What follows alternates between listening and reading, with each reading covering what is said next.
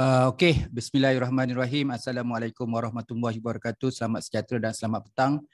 Okey, kita mulakan eh. Walaupun tak ramai lagi, baru 12, 12 orang. Jadi jam pun dah 12.46, jadi kita mulakan. Uh, Okey, kita masuk untuk tips yang ke-72. Tadi kita dah masuk bahagian metodologi. Jadi kita dah cover untuk section untuk reka bentuk atau research design. Jadi kita dah masuk kepada bahagian seterusnya dalam metodologi bagaimana kita boleh tulis dan terbit artikel untuk bahagian population and sampling. Okey, yang ke-72, what is a population in tourism research? Okey, kat sini saya nak elaborate sikit. Okey, bukan apa kan, kenapa saya buat tajuk? Boleh je saya buat tajuk lain. Kenapa saya buat dalam bentuk ayat soal? Dan tajuk yang ada persoalan. What is a population in tourism research? Okey, katakanlah kita mengandaikan kita tak tahu. Kita tak tahu uh, populasi dalam tourism. Macam mana nak dapatkan populasi dalam tourism? Agak-agaklah kalau kita nak type dekat bahagian search, tak kisahlah advanced search ke, basic search ke, general search ke, nak gunakan advanced search dekat top publisher ke, nak guna kat Google search je, agak-agak kita akan type apa? Ha, jadi mungkin ada possibility kita akan type juga what is a population tourism. Uh, mungkin tak ada perkataan research tapi nak cerita pasal keyword dia adalah population tourism. Jadi kat sini ikut tips malam. Jadi apa yang possibility researcher, eh, student kalau dia nak cari maklumat berkaitan populasi dalam tourism, agak-agak apa keyword ataupun perkataan yang dia akan type di bahagian search itu. Uh, jadi kita membuat tajuk yang ke arah itu, uh, ke arah kepada perkataan yang akan digunakan dan itu juga uh, notice by uh, publisher. Dan publisher pun tahu bahawa itulah strategi dia. Dan bila kita tengok tajuk kita ni memang mendekati kepada orang yang sedang mencari ataupun menepati keywords. Biasa kita dah menang kat tajuk lah. Bila menang dekat tajuk ada demand dia ada permintaan dia biasanya publisher akan rasa positif. Kerana topik macam ni akan ada banyak views ada banyak download dan akan dapat banyak citation jadi consider yang bahagian 72 ni adalah populasi lah. So population kita start dengan introduction. Kemudian kita jelaslah target population. Populasi target population ni ni biasa orang bincang. Ha, orang kata populasi secara umum, eh, populasi secara capaian. Ada tiga jenis populasi itu. Okay, kemudian population in inferential statistic. Biasanya kalau orang buat kajian, contoh kan dalam ni case statistik eh, untuk orang kuantitatif. Jadi population dalam inferential statistik macam mana? Kadang-kadang kita kena tahu dalam statistik ni ada cut off dia. Jumlah bilangan sampel yang kena ada untuk satu-satu uh, jenis statistik eh statistik type dia. Kat situ ada ada ada beberapa cut off ataupun minimum numbers. Kemudian generalization inference from the population Kemudian kita prepare descriptive study, preparation of analytical study, discussion or discussion formation tourism population and conclusion. Mungkin outline kita tak adalah sampai 8 eh sebab kenapa saya tunjukkan 8 ni bila saya tengok articles kan artikel bukan tajuk tourism, tajuk lain tapi bila dia cerita tentang population saya ambil poin-poin tu. Tetapi untuk research kualitatif research mungkin tak adalah kaitan dengan inferential ni. Mungkin kita lagi ringkas lah. Tapi ini outline cadangan tapi yang lebih penting macam mana kita nak tulis artikel dalam kita punya tesis pun memang jelas. Kita kena tulis bahagian populasi dalam bab tiga. Jadi apa yang kita mention dalam populasi itu, so secara detailnya kita boleh come out dengan satu artikel. Okey, saya tahu dekat populasi itu dekat kita punya tesis mungkin kita tulis dalam dua perenggan, eh, satu atau dua muka surat ataupun satu muka surat saja. Tetapi macam mana yang satu muka surat itu kita boleh kembangkan katalah kita target 6 muka surat jadi dalam 6 muka surat kita boleh keluarkan satu artikel okey? Yang pertama adalah secara umum adalah berkaitan dengan populasi. Okey kita cerita tentang sampling. Biasa orang start dengan sampling frame. So apa itu sampling frame? Apa definisi sampling frame? Kenapa pentingnya kena ada sampling frame? Contoh-contoh sampling frame. Okey bila sebut contoh ni contoh kajian kita lah. Ha, jadi kita boleh bagi contoh sebenar topik kita, uh, tesis kita. Uh, jadi kita bagi example yang macam tu. Jadi jelaskanlah apa tu definisi, kenapa pentingnya ada sampling frame. Uh, jadi example uh, hitung ataupun buat decision macam mana dari segi memilih, kemudian buat pilihan dan tentukan bagaimana keadaan pemilihan uh, ataupun menulis ataupun merangka sampling itu. Uh, kemudian kita buat conclusion. Okay, tadi population, sampling frame. Sekarang ni kita boleh buat juga sampling technique. Ha, sampling teknik yang biasa tu lah. Kalau sampling teknik dan tajuk ni, how to choose sampling technique for quantitative research. Biasa kuantitatif pakai apa? Kita pakai rawak, kan? Kita pakai rawak, kita pakai stratified random sampling, systematic random sampling, cluster random sampling. Ha, jadi itu teknik-teknik yang biasa. Jadi dalam penyelidikan dalam tourism, kita tengok kajian-kajian lepas yang buat tourism, apakah teknik sampling yang digunakan? Tapi sebelum tu kita buatlah basically, ha, buat basic, start dengan intro, bagi definisi apa tu sampling teknik, ha, apa dia contoh-contoh kajian lepas yang gunakan ha, teknik sampling dalam quantitative research, how to choose sampling teknik. Jadi kita tengoklah. Jadi kalau kita yang yang yang disenaraikan ni definisi sampling teknik how to choose sampling teknik ni memang kita tulis dalam tesis kita pun dan kita kena nyatakan uh, apa yang kita gunakan sampling teknik tu kena bagi justifikasi. Kenapa kita pilih sampling teknik tu? Kenapa tak pakai sampling teknik lain? Uh, jadi kita dah tulis dalam tesis kenapa tak nak buat artikel? Jadi kita boleh buat artikel berkaitan dengan sampling teknik. Dalam kes ni quantitative research. Okay, kenapa saya pergi quantitative research? Sebab kita boleh buat artikel different-different method. Contohnya lepas ni, kita buat untuk kualitatif research pula. Cuma saya tukar sikit tajuk lah. Eh. Kalau tadi tajuk untuk kuantitatif, saya tulis uh, how to choose sampling technique for quantitative research in tourism industry. Untuk kualitatif, saya tulis sampling technique for rational and selecting representative sample qualitative research in tourism industry. Kalau you rasa tajuk ni panjang, kalau tajuk tu nak direct, boleh pinjam je tajuk tadi tu. Ha, macam dia tu dia, how to choose sampling technique for quantitative research. Kalau nak buat tajuk lagi pendek pun boleh. How to choose sampling technique for qualitative research. Ha, in uh, ataupun teknik for quantitative ataupun for social science quantitative research. Ha, nak buat tajuk macam tu pun boleh. Jadi tajuk yang ni, yang ni tadi fokus pada kuantitatif, difikir pada kualitatif. Contohlah kan, kebiasaannya dalam researcher yang buat kualitatif ni pakai sampling teknik macam purposive, pakai snowball, pakai convenience, pakai apa lagi? Uh, pakai quota, pakai volunteer. Uh, tu tu part-part of the sampling untuk qualitative research. Kemudian kita buatlah outline kita, introduction, definition of sampling technique, rational sampling technique for qualitative research, how to select suitable sampling technique, conclusion. Jadi kita boleh buat dua artikel, sampling teknik for quantitative research dan sampling teknik untuk qualitative research. Kalau rajin lagi, ah buatlah sampling teknik for mixed method research. Ha, kalau nak buat lagi. Eh? Okay, kemudian simple calculate. Ha, ini contoh yang yang kita nak direct supaya nak attract orang baca artikel kita kan. Kita buat tajuk simple calculate of sampling size for quantitative research. Ha, ini biasalah orang guna apa? Oh, ada yang gunakan Craigie Morgan, ada yang pakai uh, guna G Power, gunakan Isaac Michael, ada yang guna Cohen, Cochrane.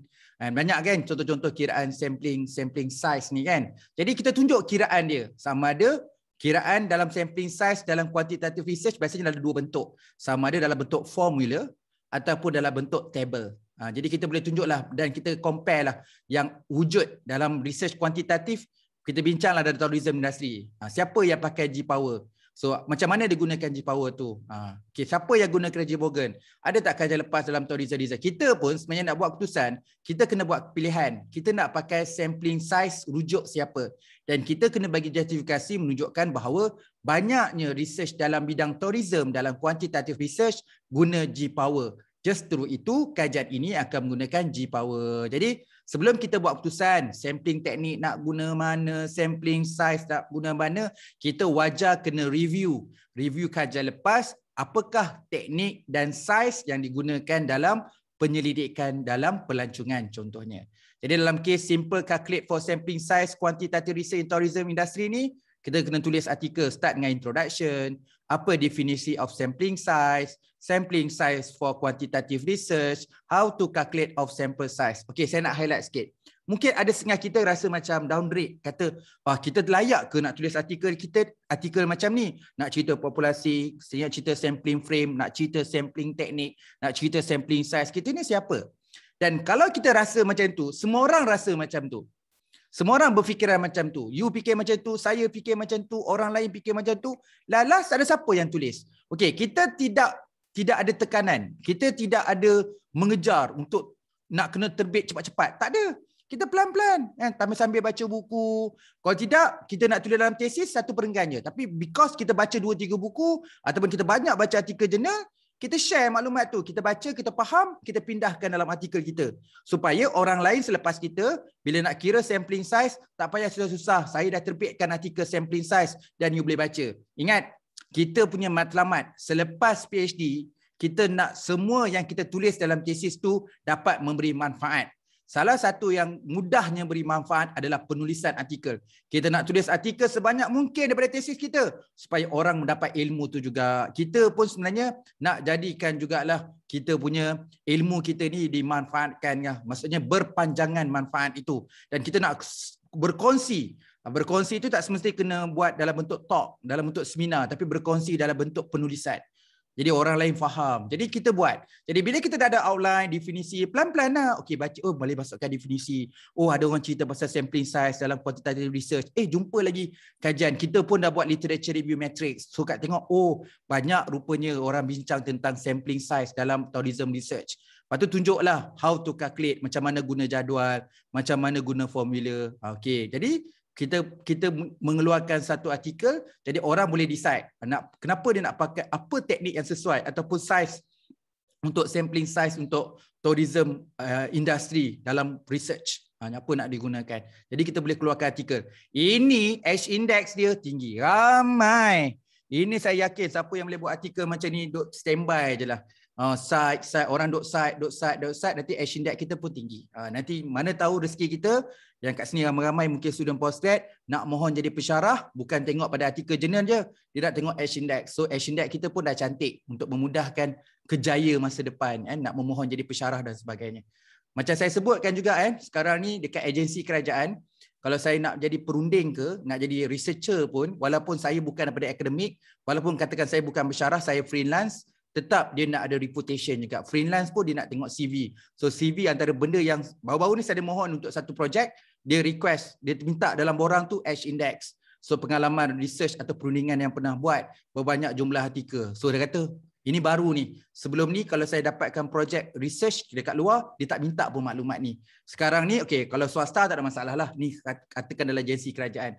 Biasanya agensi kerajaan spend jutaan ringgit, bilion, million ringgit dalam konsep R&D. Kalau kita yang ada PhD ni tak ambil peluang untuk membuat penyelidikan dan perundingan dari bajet yang sedia ada, Ah, kita ambil satu je. Saya saya ingat kata-kata ni.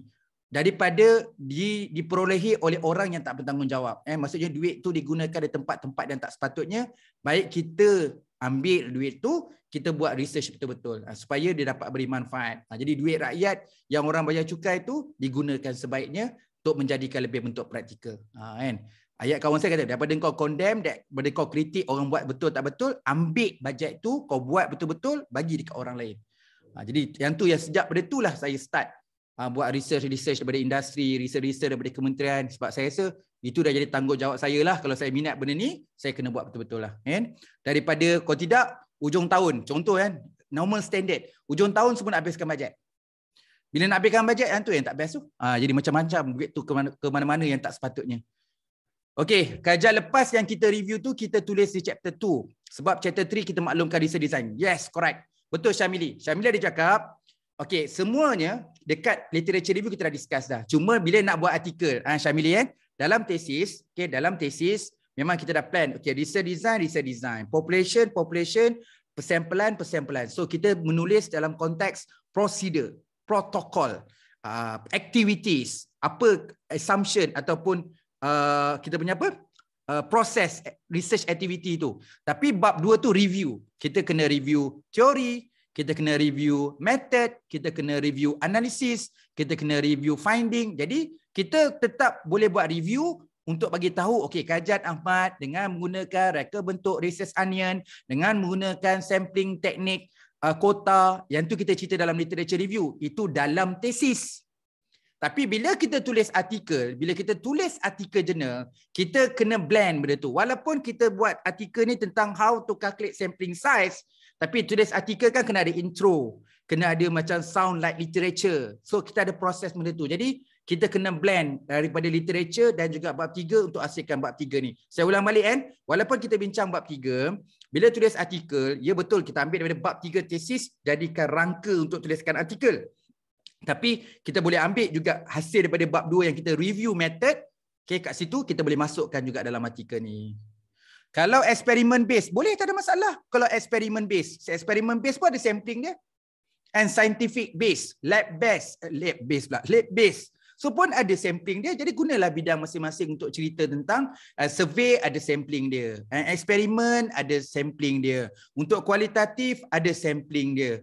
Uh, jadi kalau ada melibatkan sampling, apa-apa bidang strategi penyelidikan pun boleh guna. Survey ke, eksperimen ke, mana-mana pun boleh guna. Eh? Alright. Ha, jadi benda tu manfaat dah. Dan saya ulangkan balik, tadi mungkin kita break nanti, kita remindkan balik bahawa ingat masalah utama dalam bab tiga bukan hanya untuk orang tulis artikel, di tesis juga. Biasa komen penilai dekat bab tiga adalah citation kita merujuk kepada buku yang lama. Buku biasanya buku lah bab tiga refer buku yang lama. Jadi kita ada masalah dari segi year citation tu. Jadi dengan adanya artikel-artikel, kalau kita dapat publish artikel 2022, jadi kita punya artikel menjadi sasaran kepada researcher, kepada postgrad untuk dia cite bersama. Maksudnya, dia cite artikel kita mungkin pair lah. Contohlah dia pair uh, Sekaran. Sekaran 2016, Fazli 2022. Jadi sumber penerangan tentang sampling size tu kita boleh rujuk Umar Sekaran ataupun rujuk pada Fazli. Ha, contohnya. Jadi dengannya ada artikel-artikel terkini ni menjadi rebutan kepada semua researcher dan postgrad untuk site kita untuk masukkan dalam bab tiga, elok dalam artikel, elok dalam tesis. Ha, jadi dari segi potensial publisher sedar benda ni dan dia rasa ada kekuatan. Kalau artikel macam ni kalau dapat terbit, lajulah kan view, download and citation. Okay, sampling size for qualitative research. Ha, jadi uh, cerita dalam sampling size quantitative research dah, dah bincang dah. Jom kita buat satu lagi artikel sampling size dalam qualitative research lain. Kalau cerita sampling size untuk kuantitatif dengan kualitatif ni dah beza pendekatan dia. Ha, sebab tu saya letak does size matter? Memang definisi mudah. Kalau sampling ni kuantitatif melibatkan sampel besar. Kualitatif gunakan sampel kecil. Kalau orang kuantitatif tu dia mementingkan maksudnya lah kalau dalam bahasa statistik eh bukan bahasa research statistik. Nombor tu lagi banyak lagi baik lah. Kalau 10 11 11 lagi baik. 11 12 12 lebih baik. 100 200 200 lebih baik. Tetapi dia ada cut off sebab ada logic limitation. Kita melibatkan cost kewangan yang tinggi kos masa yang tinggi kos logistik pergerakan transportation yang tinggi. Jadi kita boleh gunakan sampling size mewakili. Sebab tu sampling ni maksudnya mewakili populasi. Ha, okay. Begitu juga kualitatif, populasi dia lagi ramai. Tapi dia nak interview berapa orang. Jadi interview yang terbaik kat sini mungkin dia pakai teknik purposive. Boleh pakai snowball kalau kita tak tahu. Kita start seorang, lepas tu kita snowball. Ataupun gunakan teknik uh, kota. Kita dah kotakan. Tak kisahlah by demografi biasanya jantina atau umur, kita kotakan dia.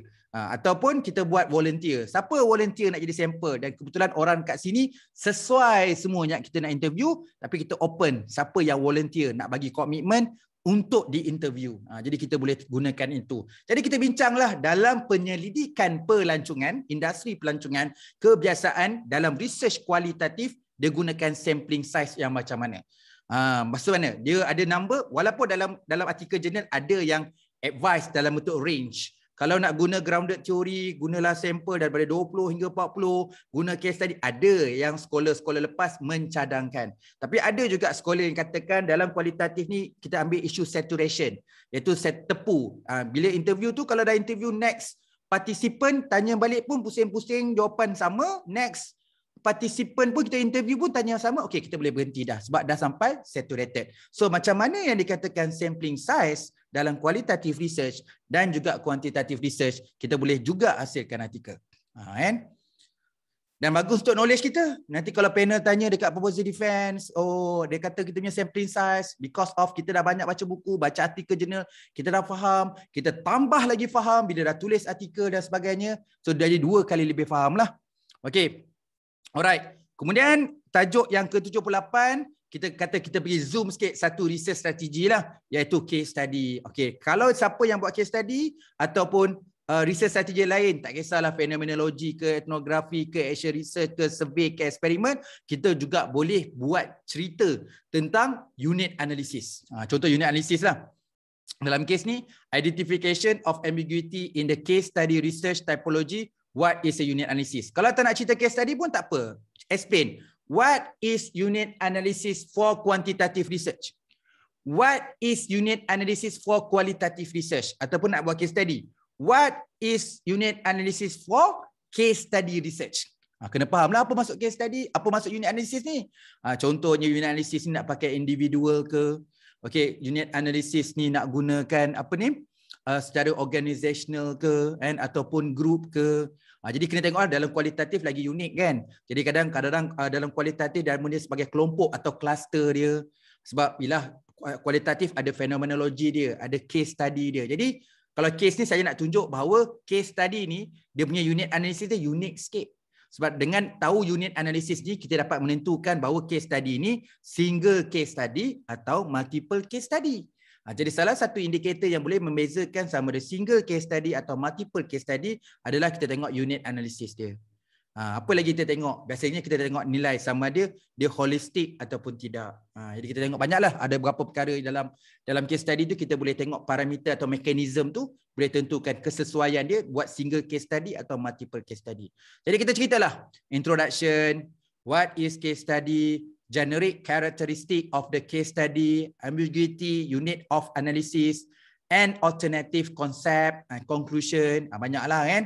Sebab tu saya kata case study ni ada kalau orang bahasa pasar ni, kalau bahasa sembang kawan-kawan, kau buat case study apa? Case study kuali ke case study kuanti? Engkau ni buat single case study ke multiple case study? Engkau ni buat case study, case study filosofi ke case study etnografi? So, case study ni banyak tau cabang dia. Ha, cuma kita kalau tanya saya kalau nak belajar semua best lah kita tahu semua benda tapi kita akan nampak keunikan. Jadi sebab tu dalam research ni kalau kau nak bincang uh, research strategi eksperimen, eksperimen macam-macam jenis. Survey ada macam-macam survey. Uh, fenomenologi ikut bidang lah. Bidang macam ni macam ni, bidang macam tu macam tu. And ejak kajian budaya gunakan etnografi. Ada yang buat yang direct, ada yang buat comparison, ada yang buat perbandingan. Jadi bila sebut pasal research strategi itu luas. Ha, sangat luas lah. Sebab tu kalau kata kalau orang tanya saya, Fazli cukup ke ajar research method satu semester? Tak cukup. Nak cover apa ni? Nak cover semua. Dalam kelas tu nak cover orang kuanti, nak cover orang kuali, nak cover orang buat miss method, alter method. Dalamnya ada orang sains, ada orang yang non sains, ada orang edu, ada yang non edu. So nak cover semua, bolehlah in general. Tapi kalau kata nak zoom, ha, kena buat macam kita orang belajar dululah. Method dia ada tiga kelas. Ah, basic, intermediate dengan advance. Uh, tiga kelas, tiga semester. Baru dapat dia punya continuity. Kalau tidak, kita akan cover sikit-sikit je lah. Eh? Alright, expanding the scope of methodologies used in sustainable development research. Okay, kat sini nak cerita tentang expand scope of methodology yang kita boleh gunakan. Boleh, dah cerita introduction, uh, sustainable development and the environments, Okay, research and its purpose, quantitative research design, non-quantitative research design toward future research. So kita nak cerita untuk trending sekarang ni dalam sustainable development research, dalam penyelidikan pembangunan kelestarian ni, dia dalam penyelidikan ni biasanya orang gunakan method mana. So metodologi tu dah berkembang bagaimana. So kita nak bincang kajian-kajian terbaru ke mana arah, ke mana trend uh, research metodologi dalam bidang sustainable development. Okay. Kita dah cerita assumption and procedure. Okay, assumption procedure. Kita dah selepas research design, kita dah cover populasi and sampling. Assumption procedure dia maksud je bila kita jalankan penyelidikan tu ada syarat-syarat. Ada andaian-andaian. Okay, apa dia assumption korelasi? Apa syarat-syarat nak buat analisis korelasi? Apa syarat-syarat nak buat regresi analisis? Apa syarat-syarat nak buat mediator analisis? Apa syarat-syarat nak buat moderator? Apa circle dalam Asia Research? Apa komponen-komponen dalam case study. Ha, jadi itu maksud dia assumption and procedure. Yang tu pun boleh buat artikel. Ha, kan? Okay, setakat ni ada soalan nak tanya? Boleh tanya eh, method. Kebetulan lah. Minta maaf kalau saya cakap macam pagi tadi lah. Bahawa bila masuk method ni, penerangan saya kadang-kadang terlupa sekejap. Ingat macam kelas method. Tapi bukan apalah, method ni pun kena explain. Mungkin ramai, saya yakin ramai orang tak tulis artikel bagian method. Sayanglah kan. Kadang-kadang kita nak baca, nak faham tentang satu perkara pun, nak faham satu perkara dia. Nak faham sampling teknik pun, makan masa hari, minggu, berbulan-bulan nak faham pasal template. Sorry, nak faham pasal sampling teknik. Tapi bila kita dah faham, why not kita tulis satu artikel dengan bahasa yang mudah untuk faham, dengan flow outline yang mudah untuk difahami dan menyebabkan orang lain akan faham lebih cepat. Mungkin kita faham dua bulan. Orang lain baca artikel kita, dua jam dah boleh faham. Ha, jadi banyak you punya manfaat yang boleh dikongsikan. Ha, jadilah seorang researcher yang yang kita mendahului ke depan untuk mendapatkan ilmu itu. Ha, ramai orang tanya dengan saya, Fazli, uh, kita tahu dalam bab ni umur kita pun dah 40 lebih, kita mendekatkan dalam bidang agama. Betul, saya kata betul. Okay, itu memang tak dinafikan. Kena ada ruang satu hari memang kena dekatkan dalam bidang agama. Ilmu tu kena top up hari-hari. Kena pergi kuliah maghrib, kuliah subuh dan sebagainya. Tapi ada juga dalam kejaya. Macam saya kena bekerja untuk menampung keluarga. Jadi kita ambil kejaya sebagai seorang pencarah. So pencarah bukan mengajar saja. Kita boleh buat research, jadi perunding dan sebagainya. Dengan ilmu yang kita dapat tu, sejauh, sejauh mana dapat beri manfaat. Jadi kalau dengan bila saya meneroka satu ilmu baru tu, saya pindahkan. Ada masa orang dengar, macam inilah saya boleh bagi talk. Tapi ada masa saya, saya tak boleh bagi talk. Kat mana lagi saluran yang saya nak saya nak kongsikan. Ha, bolehlah zaman sekarang, bolehlah buat YouTube ke, nak buat TikTok ke, nak buat kat Instagram. Itu pun saluran ilmu yang boleh mengalir. Jadi, melalui penulisan. Ha, jadi, orang faham penulisan ni lain macam. Jadi, kalau tanya saya pun, kalau kalau kalau dengar orang bercakap, disokong dengan ada bahan material yang depan mata, bahan ditulis, dia akan, akan mendekatkan saya lah. Ha, kadang-kadang, kita tak sedar, kita berdoa tu. Oh terima kasihlah artikel ni. Oh pasal artikel ni jelas and clear apa benda ni. Ha, tapi sebenarnya kalau konteks kita lah, benda manfaat tu mengalir lah. Ha, pahala tu mengalir kan. Ha, jadi saya nak jadi kita ni yang mendengar dan saya juga, saya nak jadi macam tu. Harap-harap you all pun dapat macam tu. So kita belajar dan kita nak memanfaatkan pada orang lain. Ha, jadi diversified ha, dalam pelbagai bentuk. Ha, dalam bentuk kita diam, artikel tu secara silence lah. Ah, dari segi communication, voice, dari segi talk ataupun dari segi rakaman, ha, inilah video-video sekarang rakaman lah. Okay, benda-benda tu dapat beri manfaat. Jadi yang saya tak suka, bukan tak sukalah, kita berusaha ke arah lebih baik daripada tesis kita duk perap je, duk simpan je, kan tak ada siapa nak tengok. Kalau dekat library pun zaman sekarang ni, waktu pandemik orang tak buka, tak tarik pun kita punya uh, apa ni tesis kita duduk situ dan diam je. Ha, dari tahun ke tahun, dari bulan ke bulan, tahun ke tahun dah lama, tesis kita terkubur macam tu je. Ha, kan? Kita nak ilmu tu dikongsikan. Okay. Assumption and procedure. Okay. Macam saya sebut tadi, assumption procedure, setiap research strategy, dia ada uh, step by step dia. Dia ada uh, andaian. Uh, dia ada prasyarat dia. Uh, dia ada proses dia. Jadi kita kena tahulah. Jadi kita kita rasa benda tu macam biasa. Ingat, tu student kalau tanya saya student-student saya degree tu memang dia tak tahu apa-apa. Oh saya nak buat korelasi analisis. Okey, siapa dapat jawab soalan ni saya bagi 10 markah bonus. Oh sungguh dia. Apa syarat-syarat korelasi? Diam dah. Ah tahu semua orang tahu buat korelasi analisis tapi saya tanya soalan dia. Apa syarat-syarat nak buat analisis korelasi? Ah dah tak tahu. So dia pun cari bahan. Dia kata dia kata sir dia panggil saya pak cik. Pak cik, cari tak jumpa pun tak ada pun artikel cerita pasal syarat-syarat analisis korelasi. Saya kata memang memang tak ada. Saya silap dalam buku pun tak ada. Saya silap buku tebal macam ni pun tak cerita. Tapi sebenarnya ada. Biasanya kalau you buat analisis korelasi, apa mula-mula you buat? Buat ni, ada kata bukan, sebelum tu buat yang ni. Oh, masing-masing tahu, kebanyakan researcher tahu, okey, kita nak buat korelasi kena ni. Tapi tak ada orang membincangkan ataupun benda tu ada, tapi tak ada orang review apa syarat-syarat dalam buat analisis korelasi. Ni cerita pasal SLR. Orang kata semua buat SLR, SLR. Ada orang memperhalusi teknik buat SLR. Satu step, satu apa. Step dua apa. Step tiga apa. Ada buat. Tapi kita boleh tambah baik. Mungkin dalam research orang lain begini. Dalam tourism lain. Dalam tourism orang buat tu dalam konteks ni. Dalam konteks kita lain. Orang guna instrumen satu. Kita gunakan banyak instruments. Kita banyak gunakan documents. Jadi flow activity kita mungkin extend, berkembang. Ataupun berbeza dengan orang lain. Jadi kita boleh cerita. And walaupun ada perubahan, walaupun ada ada ada perbezaan namun walaupun persamaan walaupun tak ada banyak beza sekurang-kurangnya kita boleh cerita kan research assumption maksudnya andaian dalam penyelidikan dengan menggunakan strategi penyelidikan naratif naratif ni penceritaan analisis penceritaan mapping dalam tourism field ha, ceritalah introduction uh, discuss based on the previous qualitative research dalam tourism industry. So biasanya orang cerita typology, so macam mana dia construct typology, so macam mana dalam perspective of narrative, apa tu conclusion. Uh, jadi orang cerita lah, oh kalau nak buat narrative research atau assumption of narrative analysis ni, apa yang patut kita buat, especially dalam bidang pelancongan. Big data or small data?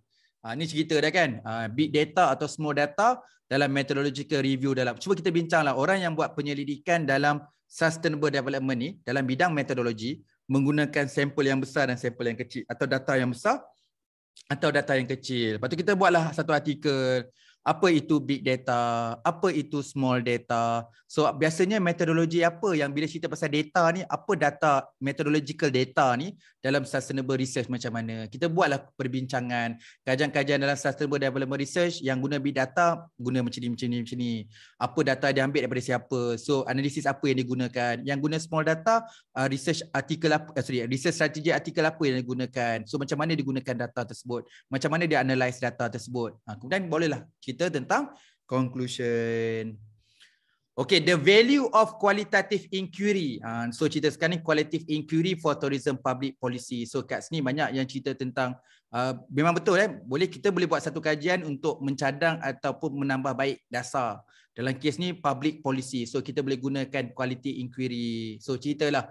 Okay, pertama tu ceritalah the origin of the quantitative dominant in the social science. Okay, problem. Sebenarnya beritahu lah apa bentuk research dalam kuantitatif. So ni biasanya dalam kuantitatif biasanya buat apa? So kita nampak kat situ okey sebenarnya banyak ruang yang kuantitatif research tak boleh buat. Sebab tu ada problem and positive agenda. Jadi kelemahan dalam kuantitatif tu dia boleh diatasi dengan kualitatif. Sebab tu ada ada bahagian kita letak the strength of qualitative research developing evaluating tourism public policy. So bila nak buat public policy, kalau orang kuantitatif research tak boleh menyumbang sangat ada kekurangan dalam positivism. Positivism ni filosofi dalam kuantitatif eh. Jadi disebab itu kita nak propose bahawa kita boleh come out dengan public policy dalam tourism dengan melaksanakan value of qualitative qualitative inquiry. Ha ni orang baca ni bukanlah kita nak kritik kuantitatif. Dia sebenarnya setiap method tu ada kelebihan dan kekurangan. Jadi kekurangan yang ada pada kuantitatif tu boleh ditampung oleh qualitative research. Okay, concept and development for comprehensive operation support with modeling and simulation research. Ah, contoh lain pula, okay, katakanlah kita buat modeling and simulation. So dalam modeling and simulation pun ada dia punya assumption, ada dia punya procedure dia. Jadi kita boleh ceritalah? Mula-mula cerita introduction, kemudian method, challenge to using modeling and simulation in operation planning process. Kemudian biasanya simulation ni berkait, berkait dengan prototype a prototype decision support environment, uh, process and concept, future development of modeling and simulation support in operation process, conclusion. So aspek modeling atau simulation ni juga kan dari segi assumption, eh, andaian itu ataupun prosedur pun kita boleh tulis satu artikel. Okay, qualitative approach to mixed method. Sekarang ni kan bila dari, dari, bermula daripada kualitatifnya research atau pendekatan kualitatif, kita hijrah atau shift kepada mixed method practice. So, sejauh mana pergerakan, perkembangan dalam penyelidikan ataupun metodologi dalam penyelidikan pelancongan. Bila sebut kualitatif, ramai research yang kualitatif. Tapi ramai juga orang dah bergerak kepada mixed method. Dalam kata lain, tajuk ni nak cerita perkembangan mixed method dalam tourism research. Kita ceritalah mula-mula introduction, lepas tu mixed method dalam qualitative methodology. The practice of qualitative approach to mixed method. Contoh kat sini cerita case study contohnya. Macam mana case study of qualitatively driven mixed method. The neglect of qualitative approach to mixed method. Lepas tu conclusion. Okay. Kemudian contemporary. Ah, so sekarang ni benda baru. You nak, jadi pula supervisor minta So you buat grounded theory eh. Saya nak buat mixed method. You guna grounded theory tapi guna mixed method. Kita pun jenuh lah explore. Okay, katalah you jumpa artikel tajuk macam ni, confirm lah kita download kan. Jadi dalam kes ni kalau siapa yang buat benda yang baru macam mixed method grounded theory, bolehlah buat satu artikel contemporary eh? approach. Contemporary ni maksudnya kepelbagaian lah juga. Eh? Maksudnya diversified. Maksudnya maksudnya dia dia Bukan kita tahu kualitatifnya bersifat subjektif yang fleksibel lah. Jadi apakah approach yang yang sesuai untuk digunakan dalam pembangunan penyelidikan dalam mixed method grounded theory. So kita pun nak belajar lah apa itu mixed method. Sebab tu outline ni start dengan introduction, lepas tu beritahu apa itu mixed method, apa itu grounded theory, apa itu mixed method grounded theory, conclusion and future agenda. Ataupun tajuk dia simple je. Kalau tak nak buat tajuk sini, buat simple je. What is mixed method grounded theory? Ha, pun boleh. Ha, yang tu lagi menarik tu jadi benda ilmu baru kan. Jadi macam saya, saya kalau tajuk macam ni, kalau tengok buku, saya beli buku lah. Saya tengok, eh, mixed method grounded theory. Alamak, grounded theory pun banyak benda lah aku tak, tak kadam lagi. Ada pula mixed method grounded theory. Tapi logik.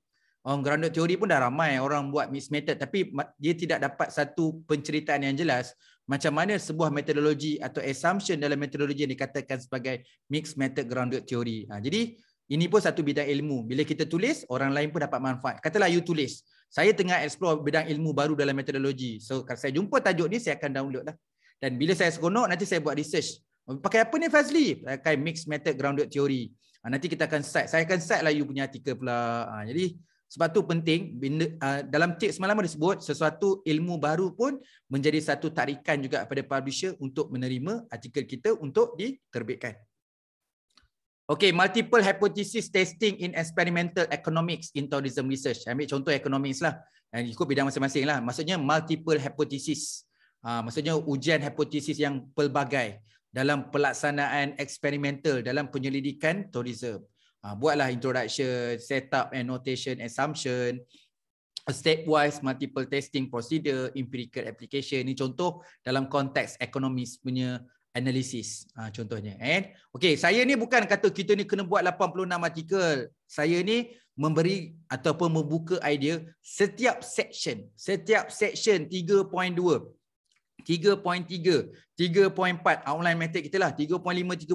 Semua tu boleh convert menjadi satu knowledge, general knowledge. Kita convert jadikan artikel untuk jadikan manfaat pada semua. Kadang-kadang orang nak belajar bukan nak belajar the whole thing kat chapter 3 kita. Ada nak belajar populasi je, ada yang nak belajar sampling je, ada nak belajar perkaitan hypothesis testing. Jadi apa bila kita dapat keluarkan beberapa artikel dekat bahagian method, dia boleh mengisi knowledge dalam pelbagai bidang ilmu. Pelbagai pelbagai uh, pelbagai kita panggil apa? Pelbagai type of the researcher lah. Ada yang pelajar, ada yang lecturer, ada yang guru dan sebagainya. So semuanya akan dapat manfaat. Normality assumption. Ah ni pun sama jugalah bila dalam kuantitatif contohnya dia ada normality assumption. So data ni bertaburan normal. Kenapa kena buat data data apa data bertaburan normal?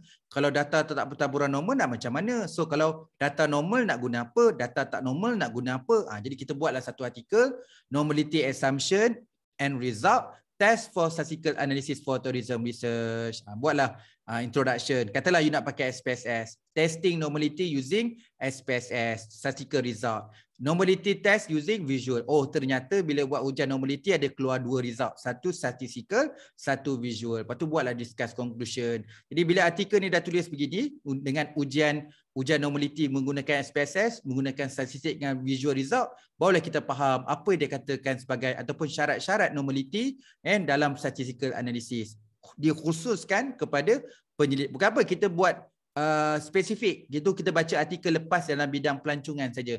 Tapi kalau topik pelancongan tu tak banyak, okay, kita boleh tukar je. Normality, assumption and result test for statistical analysis for social science research. Ha, eh, boleh macam tu.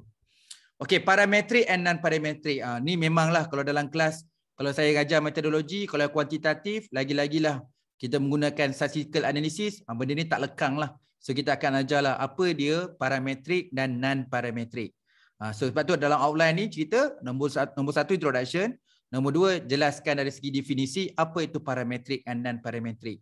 So apa dia punya andaian? Andaian yang untuk parametrik dan andaian untuk non parametrik. So apa apa kesan kepada normal data dia? Untuk data parametrik dengan data tidak normal tu non parametrik apa kesan dia ha okey lepas tu debate sekarang ni banyak dikit kan oh tak payah data tak per, tak perlu normal pun boleh analyze oh data ni ha, contohlah dalam kuantitatif selalu bincang dekat berkaitan dengan menggunakan perisian perisian SAM PLS contohlah menggunakan SAM PLS atau SAM AMOS contohlah pakai nama tu.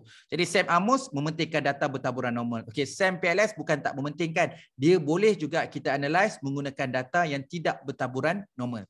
Ha, itu yang debate orang bincang. And conclusion and future application. Correlation and aggression analysis. Ha, jelah, nak buat ujian korelasi, nak buat ujian regresi. Ha, ini yang dikatakan correlation punya assumption, regression assumption dibincangkan tak? Dia sebenarnya nak beritahu tak banyak buku yang cerita tentang correlation assumption dengan regression assumption. Tapi researcher yang guna kedua-dua ni sangat banyak. Bila panel tanya, boleh tak jelaskan saya assumption of correlation analysis? Ha, jadi kita pun tak jelas. Okey, dalam kes ni ceritalah dulu korelasi and regression definition. Apa syarat-syarat dalam korelasi? Yang tu tulis korelasi analysis assumption. Apa syarat-syarat atau andaian dalam analysis assumption untuk regression? Lepas tu kita buatlah bila analisis dalam dalam kes korelasi dengan regresi ni kita ada interpretation. So macam mana nak interpretation of data and correlation and regression analysis. Macam mana nak baca data daripada ujian korelasi dan ujian uh, regresi. Okay, conclusion and future application. Okay, ni contoh kalau awak nak buat. Ni contoh kan. Masing-masing merujuk method masing-masing. Saya cuma nak tunjukkan contoh macam mana you all kena apply method masing-masing lah. Eh? Step by step. Oh, kalau tajuk ni kalau tajuk ni publish, ramailah yang gunakan mediating atau moderating ni, ya lagi-lagi yang guna SAMPLS akan step dengan kita, akan site kita lah. Sebab kita keluarkan satu artikel, step by step research assumption for mediate and moderating effects in SAMPLS. Ha, ceritalah overview apa tu mediating, apa tu moderating dalam research. Apa definisi mediating, apa definisi moderating bila menggunakan SAMPLS. Okey, bincangkan kajian-kajian lepas yang menggunakan mediating atau moderating dalam SAM PLS. Kat sini mungkin kita boleh ambil contoh kajian dalam tourism and conclusion and future agenda last sekali. Okey, sebelumnya kita selepas ni kita akan masukkan instrumen dengan development and validation. Okey, clear ke semua? Faham ke semua? So kita ni dalam bahagian metodologi ya, saya go through section by section. Kita mulakan tadi dengan research design, kemudian population and sampling, ah, kemudian kita masukkan tadi yang berkaitan dengan assumption and procedure, So kejap lagi kita akan masuk instrument development and validity. Okay, setakat ni ada soalan untuk bab tiga. Macam mana kita boleh convert elemen dalam bab tiga tu untuk menjadi artikel. Ingat, mungkin jadi benda yang agak ganjil. Mungkin kita pun tak ada experience menulis artikel daripada method menjadi artikel jurnal. Tapi percayalah bahagian ini publisher sangat suka. Okay, sangat suka penerangan dalam bidang metodologi sebab dia orang tahu bila cerita pasal metodologi ramai banyak demand atau audien yang perlukan citation lagi-lagi artikel yang ter terkini. Ha, sebab dia perlu, sebab dia tahu dalam bab tiga dia tak banyak site uh, rujukan yang terbaru. Ha, jadi banyak base pada buku. Buku kadang-kadang buku ni kalau buku method ni lima tahun sekali baru dia dia keluarkan orang kata uh, cetakan baru uh, ataupun version baru. Ha, kan? Okay, ada soalan nak tanya?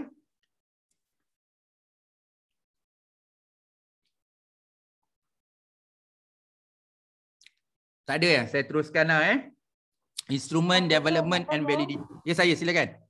Mudah tak uh, kita nak penetrate kalau kita hantar artikel berkaitan dengan tadi metodologi tu. Maksudnya chances untuk dapat lah. Okay. Sebab kita bukan bidang kan.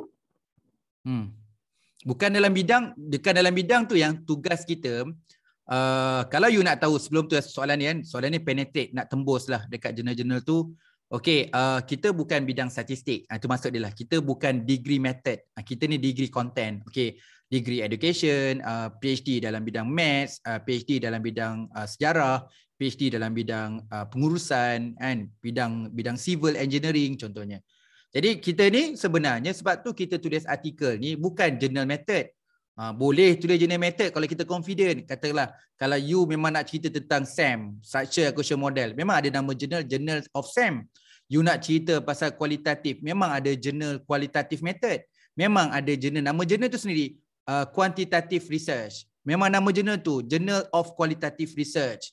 Ada ada Journal of SEM. Memang ada journal tu dan you boleh hantar di situ tak boleh nak tak boleh nak sorry tak menghalang untuk hantar artikel di situ tetapi bukan tetapi dan juga you boleh submit artikel metodologi itu ikut bidang masing-masing contoh nama jurnal ni adalah uh, contohlah kita buat tourism kan uh, nama jurnal tu International of Tourism Management ataupun nama jurnal tu uh, Tourism Research okey tugas kita uh, tugas kita pertama kena ingat tak tips malam Ha, pertama, pemilihan jurnal. Yang kedua, penyiasatan jurnal. Investigate.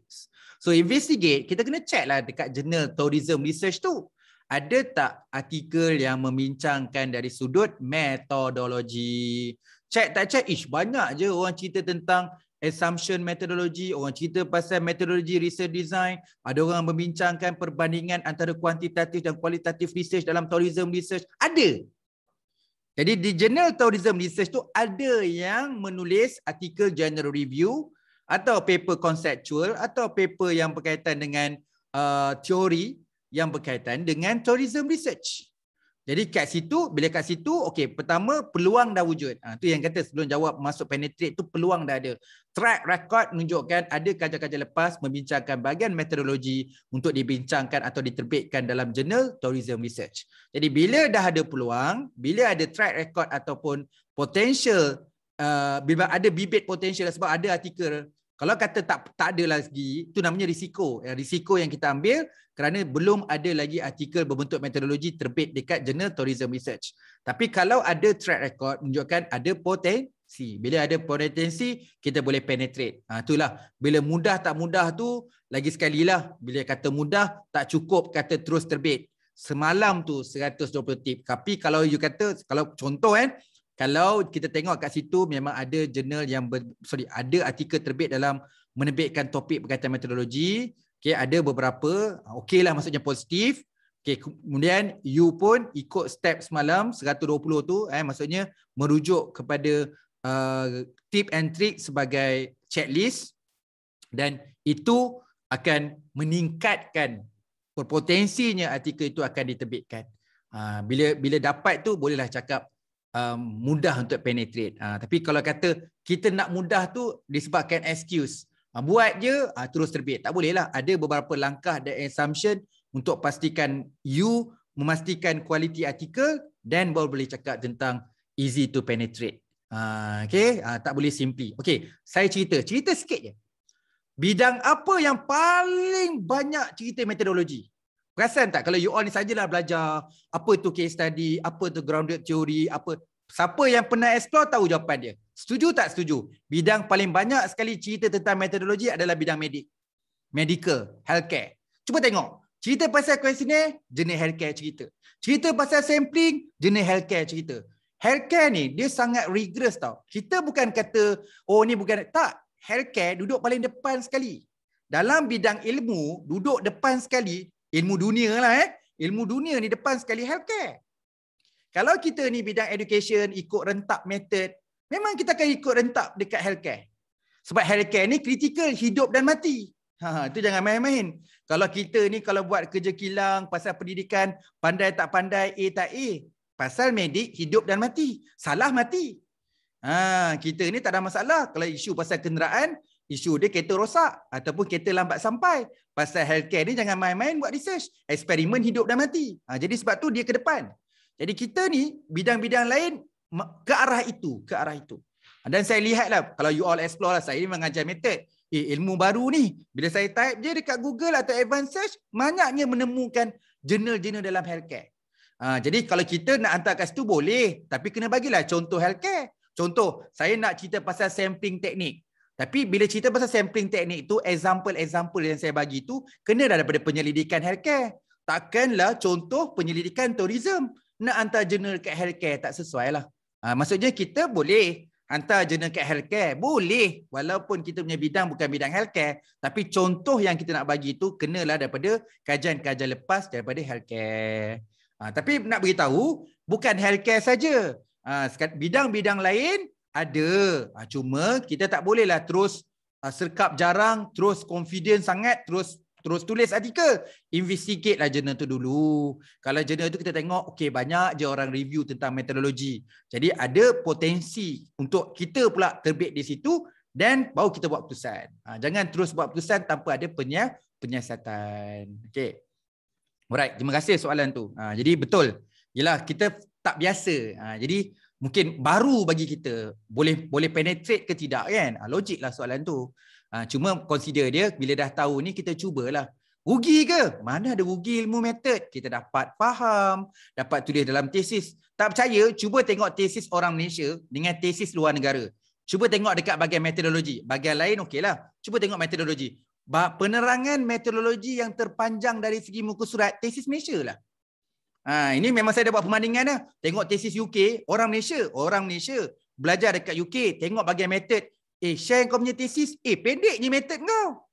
Pendek je. Dekat universiti aku memang pakai SPSS pun boleh dapat PhD. Ha, pakai pakai deskriptif pun dapat PhD. Oh, Malaysia tak boleh. Kalau pakai deskriptif tu level diploma.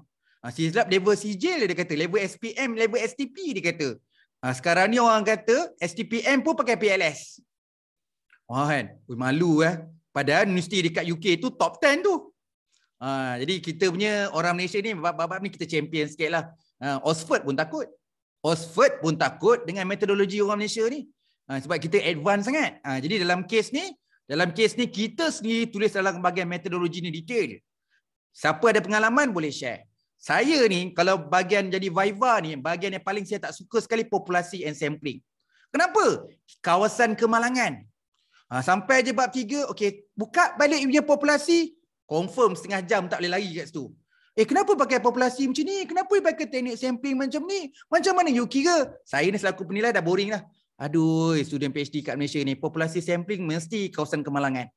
Dan kita pun selaku panel, saya ni panel. Tahu tak apa tugas panel ni? Panel ni banyak kerja lain, banyak task kena dapat. Kita orang akan buka dekat persamplan tu, tu kawasan senang nak dapat kesalahan.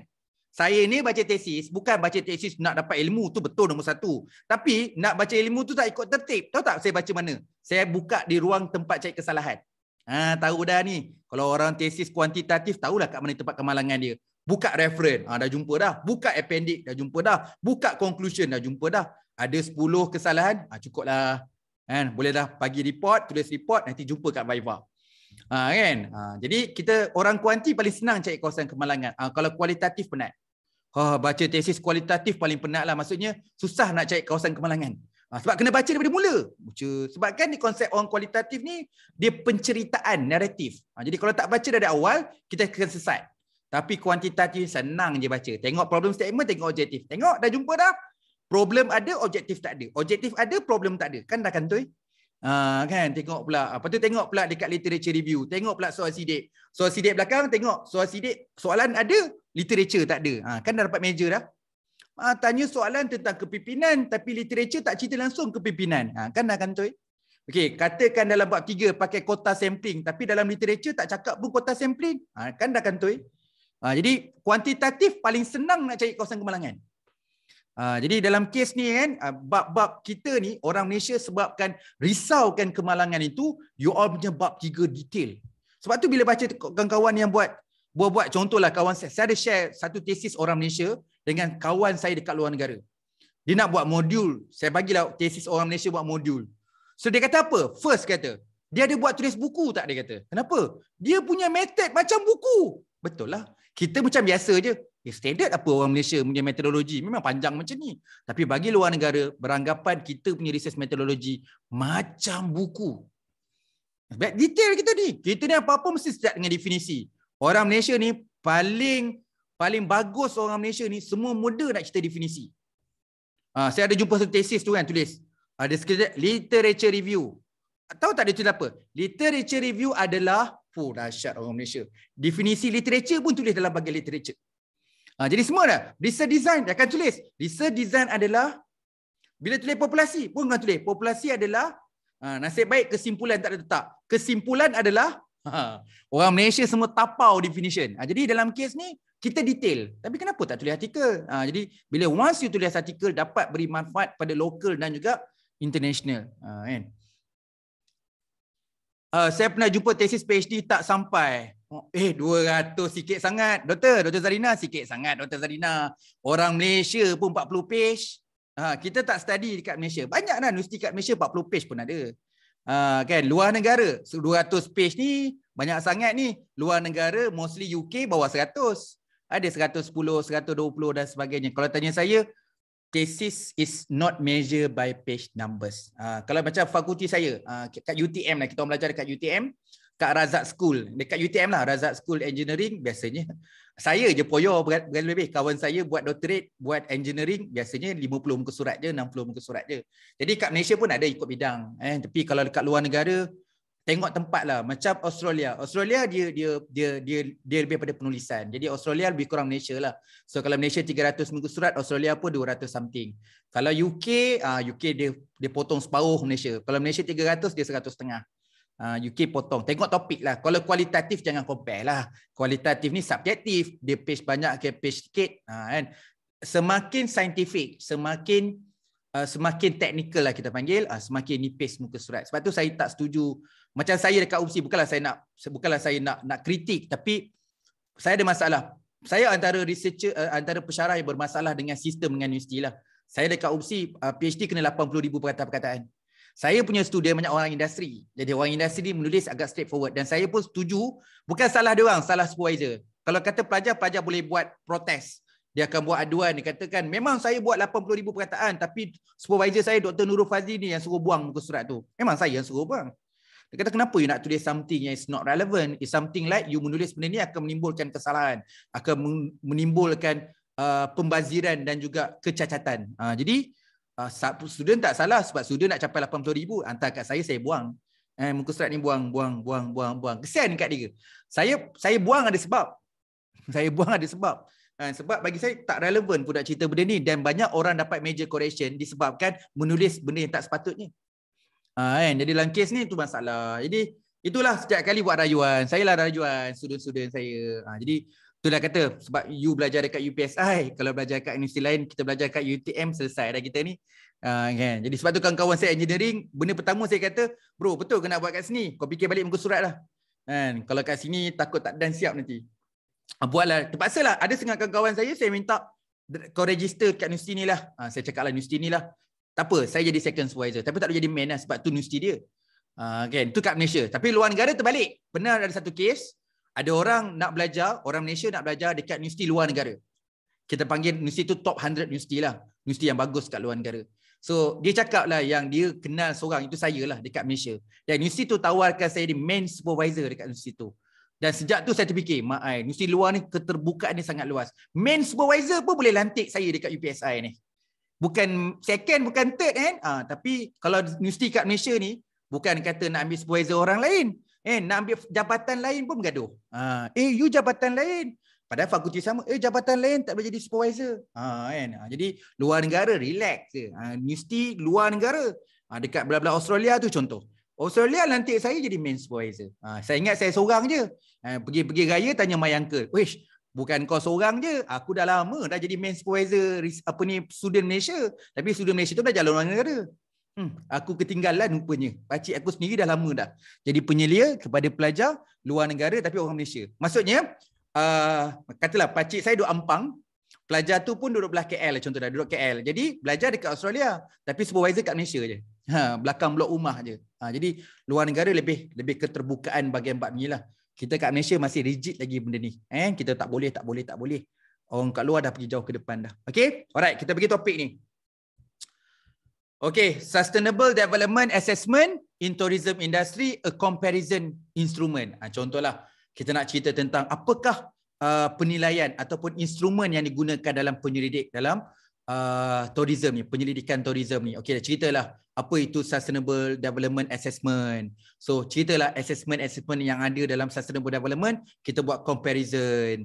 Kemudian kemudian kita buatlah method sikit, systematic literature review. Okey, kita dah bincang. Kita guna katakanlah paper 91 ni kita gunakan jenis artikel literature review, kita melaksanakan SLR.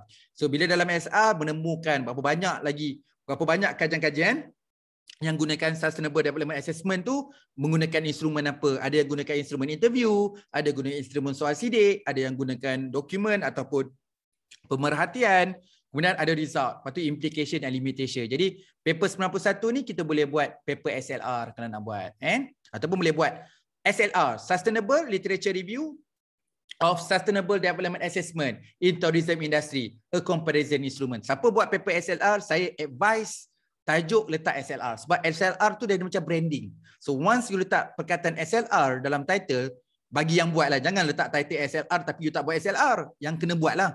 Dia menjadikan satu tarikan kepada publisher bahawa okay sebab publisher tahu SLR ada kekuatan. Ha, ada kekuatan. Okay, review of literature on the survey instrument use data collection sustainable development in tourism industry. So kita nak kita nak review lah. Betul macam kawan kita bagi nasihat tadi. Okay, memang betul literature review tu duduk dekat bab dua. Tapi memandangkan kita ni nak buat artikel tentang survey instrument. Apa survey instrument? Maksudnya ad, ad, wujud tak instrument? Maksudnya instrument survey tu questionnaire lah. Ada ke questionnaire dalam sustainable development dalam tourism industry ni? Kalau ada kita bincangkanlah, kita review lah tu maksud dia. Kalau tak ada, ha, kita buat jadikan sebagai research gap. Ha, bila dah buat SLR, SLR tu mencari mencari literature secara habis-habisan. Dah selongkar dah semua, dalam tourism industry ni tak ada lagi questionnaire dalam sustainable development. Ha, kita kita lah. Kalau ada, kita bincang lah. Ha, macam, macam kajian saya lah dengan kementerian, memang susah. Bila bila kat kementerian sebab tu saya saya volunteer to be biar saya jadi orang pertama lah buat instrumen. Macam baru ni kita buat instrumen untuk koperasi mikro. Koperasi mikro tu bawah daripada kecil tau. Dia mikro, kecil, sederhana, besar. Jadi banyak researcher dekat Malaysia ni tak nak tengok pasal mikro tu. Jadi koperasi dekat Malaysia ni 90%, lebih kurang hampir 90% tu adalah koperasi mikro. Bayangkan berapa ribu koperasi mikro ni tak ada instrumen. Ha, jadi kita buat. Ternyata bila nak buat, mencabar. Bukan Malaysia, satu dunia. Satu dunia tak ada instrumen untuk koperasi mikro. Ha, jadi kita tunjuk terror lah kat sini. Buat je lah dengan harapan kita plan untuk come out dengan artikel jurnal ha, akan jadi pioneer lah dalam konteks ni. Tapi ternyata bila nak buat memang susah. Tapi bila dah siap, seronok buat jadi pioneer ni. Bukanlah pioneer benda besar. Kita cuma mengisi kelompongan yang tiada. Ha, jadi bukanlah riak dan sebagainya. Tapi kita seronok dengan berbuat instrumen tu saya yakin ramai researcher, ramai postgrad-postgrad kat Malaysia ni mula meneroka kepada kepada uh, koperasi ni. Saya punya finding sangat jelas. Saya pun tak tahu. Kita sembang koperasi-koperasi koperasi dari segi jenis perniagaan paling banyak. Dari segi latihan paling banyak. Tapi problem statement dia tak dapat mengisi satu persen pun KDNK negara kita. Penyumbangan koperasi, perniagaan koperasi menyumbang kepada negara tak dapat menyumbang satu persen pun. Ha, tapi lah bila kita kita manipulate data bolehlah kata 3% lah 4% tapi sebenarnya nak capai 1% pun susah. Ha, kan? Koperasi ni termasuklah bank rakyat. Ha, bank rakyat yang koperasi-koperasi lain nak menyumbang KDK negara nak dapat 1% pun payah. Ha, tapi, tapi dalam kehidupan kita eh koperasi bukan steady ke? Ha, tapi uh, banyak orang lacking sebab problem statement menemukan sesuatu yang okey tak banyak researcher Malaysia ni buat koperasi rupanya. Tapi kalau pergi luar negara, uh, how to Thailand survive, how to African survive, how to Bangla, Nepal survive because of cooperative. Uh, tu contoh adalah. Uh, itu agenda lah. Memang agenda sekarang pun kalau ke arah koperasi memang kita kena fokus lah. Bila bila nak selesai COVID-19 ni, banyak syarikat tutup, solusi dia buka koperasi. Koperasi menyelesaikan masalah peniaga lah yang bagi tak boleh survive dalam niaga, dia kena buat koperasi. Indonesia buatlah sekarang. Ah, Indonesia lebih jauh ke depan lah koperasi dibanding kita. Kan? Okay, the development, sustainable development instrument procedure for tourism industry. Uh, okay, kat sini contoh lah kan, nak buat instrument procedure. Apa procedure-procedure nak buat development of the instrument ni? Kan biasa kan, siapa yang buat objektif dia develop? Contoh dia punya objektif, nak develop new instrument ataupun nak membangunkan instrument. Ah, uh, punya research question, how to develop sustainable development instrument. Kenalah review macam mana nak bangunkan instrument ni. Oh, kena tengok construct and factors, kena cerita development instrument item, so kena buat proses validity, kena buat proses reliability analysis, conclusion and future agenda. Supaya orang lain nanti nak bangunkan instrumen tahu. Okey, dah banyak dah kajian lepas. Okey, uh, dah bangunkan instrumen prosedur tetapi belum lagi dalam tourism industry. Contohnya dah ada the development of instrument procedure for manufacturing industry kepada banking tapi dalam tourism industry belum. Jadi kita bolehlah buat artikel Okay, overview of data collection and impact evaluation for tourism research. Kenapa pentingnya research dalam dalam tourism ni? Ah, apa bentuk data-data yang sesuai untuk tourism research yang dapat beri penilaian berimpak? Ah, jadi kita ceritalah. Okay, planning. Oh, punya dalam tourism ni penting penting dalam planning data collection. Dulu orang tanya, orang tanya saya, orang tanya Fazli, kau dah pernah buat research kat Langkawi? Jadi kalau COVID ni, kalau orang buat uh, buka Langkawi sebagai tempat pelancongan, yalah buka pelancongan pasal ancaman COVID tu satu bab lain lah. Tapi menjadikan pilot sebagai Langkawi sebagai pelancongan, dia bukan something yang baru. Tanya ke kawan kita kat tourism, bidang tourism. Memang Langkawi tempat pilot study. Dan saya pun ada beberapa research pasal tourism, memang buka kat Langkawi. Kalau akademi pun, semua akademi tourism duduk kat Langkawi. Pusat-pusat penyelidikan tourism dekat universiti pun dekat Langkawi. Jadi jangan ada pelik lah. Mungkin kita baru first time. Ah, kenapa Langkawi? Kenapa Langkawi? Memang Langkawi itu memang center research untuk tourism. Memang orang buat pilot dekat Langkawi. Jadi tak bukan something yang pelik lah. Jadi memang Langkawi memang worldwide destination tourism. Dalam konsep research pun memang orang pergi Langkawi. Ha, jadi uh, memang ada. College community kat situ nama dia lain. Ha, dia college community kan. Dekat Langkawi tak panggil college community, dia panggil LTA. Langkawi Tourism Academy. Ha, jadi itu contohlah bila kata tourism ni mungkin beza sikit. Mungkin dalam tourism data dia nak collect data collection tu sikit berbeza dengan cara-cara bidang-bidang lain. Ha, contoh kan. Introduction, planning data collection, ensuring good data management and apa special issue ensuring quality dalam quality. Maksudnya pasal data collection dia. Ha, macam saya contoh sikit je saya bagi. Saya saya saya masih lagi jadi persoalan kawan-kawan yang buat tajuk dekat manufacturing, buat ke otomotif, tahu tak berapa percentage dia dapat data collection? 10% je. Biasanya orang gunakan kaedah post ke, kaedah survey ke, pergi paling jauh je 10%. Kita kita study memang 10%. Tiba-tiba ada orang kata dia dapat 90%. Persoalan besar lah. How come you boleh dapat data collection 90% eh? Kajian lepas, semua 5%, 6%, 7%, 8%. Nak dapat 10% tu susah. Oh, dia kata, oh, saya guna post. Nampak sangat dia bohong. Tahu lah sebab tu kalau student dia, dia buat kajian ni manufacturing, dia pakai post, dapat 90%. Bohong apa? Kita orang ni, semua penilai ni, semua buat research kat manufacturing. Tak pernah dapat 90%. Dan dalam literature, tak ada orang proof dapat 90%. Kedah apa yang you pakai ni? Ha, garang lah sikit. Kedah post, bohong, tipu ni data ni. Bukanlah apa, kita kita nak tahu benda honestly kan. Dan saya memang engage benda ni lah. Nampak sangat bohong tu lah. Melainkan kalau ada ilmu, ilmu yang luar biasa mungkin betul lah. Bagi saya, saya sendiri pun nak dapat 90% untuk manufacturing, satu je kaedah yang boleh buat. Kan? Kaedah dia adalah masuk meeting. Masa meeting, sama-sama dengan dia orang, bagi kuesioner itu kat dalam meeting. So, balik masa meeting, collect. Ha, itu pun ada yang tak nak bagi. Ha, itu je yang cara yang saya boleh dapat. Kan? Cara yang paling dapat, ini yang pernah saya buat. Saya nak cerita dalam method pun mungkin orang tak percaya. Mostly dalam manufacturing ni, kalau otomotif, 98% adalah lelaki. Tahu tak macam mana nak collect data tu? Masa meeting dia orang, uh, bidadari, maksudnya student saya lah, yang belum kahwin, yang perempuan, pergi collect data. Itu dapat 1%. Ha, tu baru jadi gender punya, tu baru dapat. Maksudnya, semua tu semua lelaki, ha, yang collect data tu saya hantar anak dara, hantar questionnaire tu masih meeting dan collect lagi. Bukan dapat collect je, siap ada tanya lagi, ada questionnaire nak tanda tak? Ha, siap dapat business card lagi. Ha, jadi itu je strategi. Nak cerita dalam method, orang tak susah nak cerita tapi itulah hakikat dia. Sebab tu dalam dalam buku research method psychology ha, psychological research method ada berbincangkan ni bila cerita strategi collect data ni gender different gender tu memang mempengaruhi untuk dapatkan uh, data collection yang banyak. Ha, kan? Jadi memang betul memang macam tu. Kalau katalah nak buat satu kajian di kalangan um, apa dia panggil tu? Lupa dah saya. Banyak kan? Ada ibu uh, yang kata orang perempuan uh, apa nama tu lupa dah saya. Pasal keusahawanan lah. Jadi yang ramai yang meniaga tu kebanyakan adalah orang perempuan. Uh, ibu tunggal ada yang orang perempuan lah. Uh, perempuan dekat situ. Jadi nak collect data hantar hantar anak teruna pula.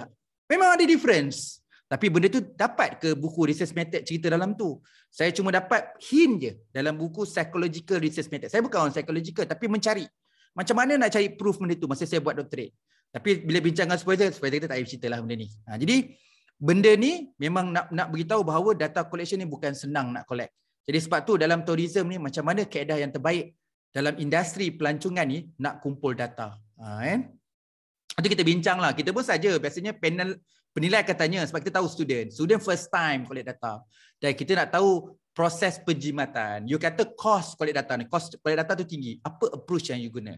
Dan kita pun dapat ilmu jugalah. Kalau macam saya, saya ilmu yang saya dapat direct tu dah yang yang pergi tempat yang teknikal, tempat yang kita tahu penuh dengan penuh dengan penuh dengan macam behavior lah. Oh saya tak nak jawab soal sidik ni. Ha, jadi ada yang yang macam tu. Pengalaman saya collect data dekat hospital pun um, susah. Hospital ni etika. Nak masuk je collect data ke hospital, berapa layer nak dapat kebenaran? Oh renyahnya dekat. Sebab tu nak minta research grant setahun. Dekat hospital saya akan call dulu. Betul setahun ni nak minta kebenaran collect data dekat hospital pun dekat setahun. Nak buat research setahun macam mana ni? Ha, itu ancaman-ancaman yang orang tak tahu. Ah, bahawanya, oh dekat Malaysia ni nak collect data pasal healthcare cukup susah. Ha, kan? Jadi sebab itulah kajian saya kadang-kadang ambil perception je. Ha, pergi conference. Okay, conference tu uh, kadang-kadang ikutkan etik salah juga tu kan. Ada conference di kalangan nursing. Jadi semua nursing ikut conference tu. Kita selit-selit ada questionnaire. Kan? Ikutkan kena minta kebenaran juga. Bila kita minta kebenaran dekat organizer conference tu kan, dia bagi kita bagi. Ha, jadi strategi itu kadang-kadang guna kita declare lah. Kita gunakan platform conference untuk nursing yang hadir itu semua nursing dan kita akan ada questionnaire ketika itulah. Ha, kan? Jadi kita gunalah teknik sample apa. Adakah itu teknik purposive? Ha, adakah itu convenience? Adakah itu volunteer? Ha, jadi kita kita identify ke kualiti data tu dipengaruhi oleh kaedah teknik sampling. Ha, kan? Okay, essential aspect in the design of the data collection instrument in tourism research. Ha, inilah cerita dia. Introduction, method, integrative review, result, discussion, conclusion. Ha, ini contohlah kan. Ha, tapi yang ni outline ni boleh tukar tapi lebih kepada nak cerita keperluan ataupun aspek-aspek dalam mereka bentuk dalam pembangunan uh, pengumpulan data dalam uh, instrumen pengumpulan data dalam penyelidikan tourism. Okey, ini lain pula measurement of instrument, sorry, measurement instrument and data collection for tourism research, consider and construct bias. Banyak orang cerita pasal bias lah, memang betul pun. Pasal data collection ni ada bias data collection kan. Uh, apa tu bias data collection? Ah, ceritalah and introduction, measurement instrument classification, error and measurement data collection, rule for development instrument, comparison between different instrument and their specification bias, conclusion. Okay, ah, ini saya laju sikit lah eh. So sekarang ni dah masuk dekat proses validity, preliminary evidence for the validity of the sustainable development. So ada yang buat kajian awalan, eh, pengesahan awalan iaitu validity dalam pembangunan kelestarian ni, dalam pelancongan. Ha, macam mana nak buat outline untuk artikel macam ni? Sebab kita buat dalam bab tiga kita ni. Jadi bila ada outline dalam bab tiga, buatlah satu artikel supaya orang boleh tahu, oh apa itu validity untuk prelim research. Ha, adalah research design, theoretical framework for sustainable development, instrument development framework for sustainable development, limitation and future research. Kemudian ada conclusion. Method use validity test. Ha, maksudnya, ni cerita pasal validity eh. Kita masuk satu bahagian validity dengan reliability dia sekarang ni. So apa metod dia gunakan untuk ujian validity untuk sahkan questionnaire uh, theoretical construct and empirical construct for tourism research. Jadi ramai research dalam kuantitatif ni akan menggunakan uh, questionnaire. So bila gunakan questionnaire nak bincang pasal validity and reliability. So bila baca artikel kita dia boleh dapatlah dia boleh cite kita lagi. Uh, so apa tu validity test? Apa tu validity test untuk theoretical construct? Apa dia masukkan validity test untuk empirical construct? Apa tu conclusion? Okay, reliability kriteria. So, apa syarat-syarat kriteria dalam ujian kesahan uh, untuk menghasilkan good measurement dalam tourism research?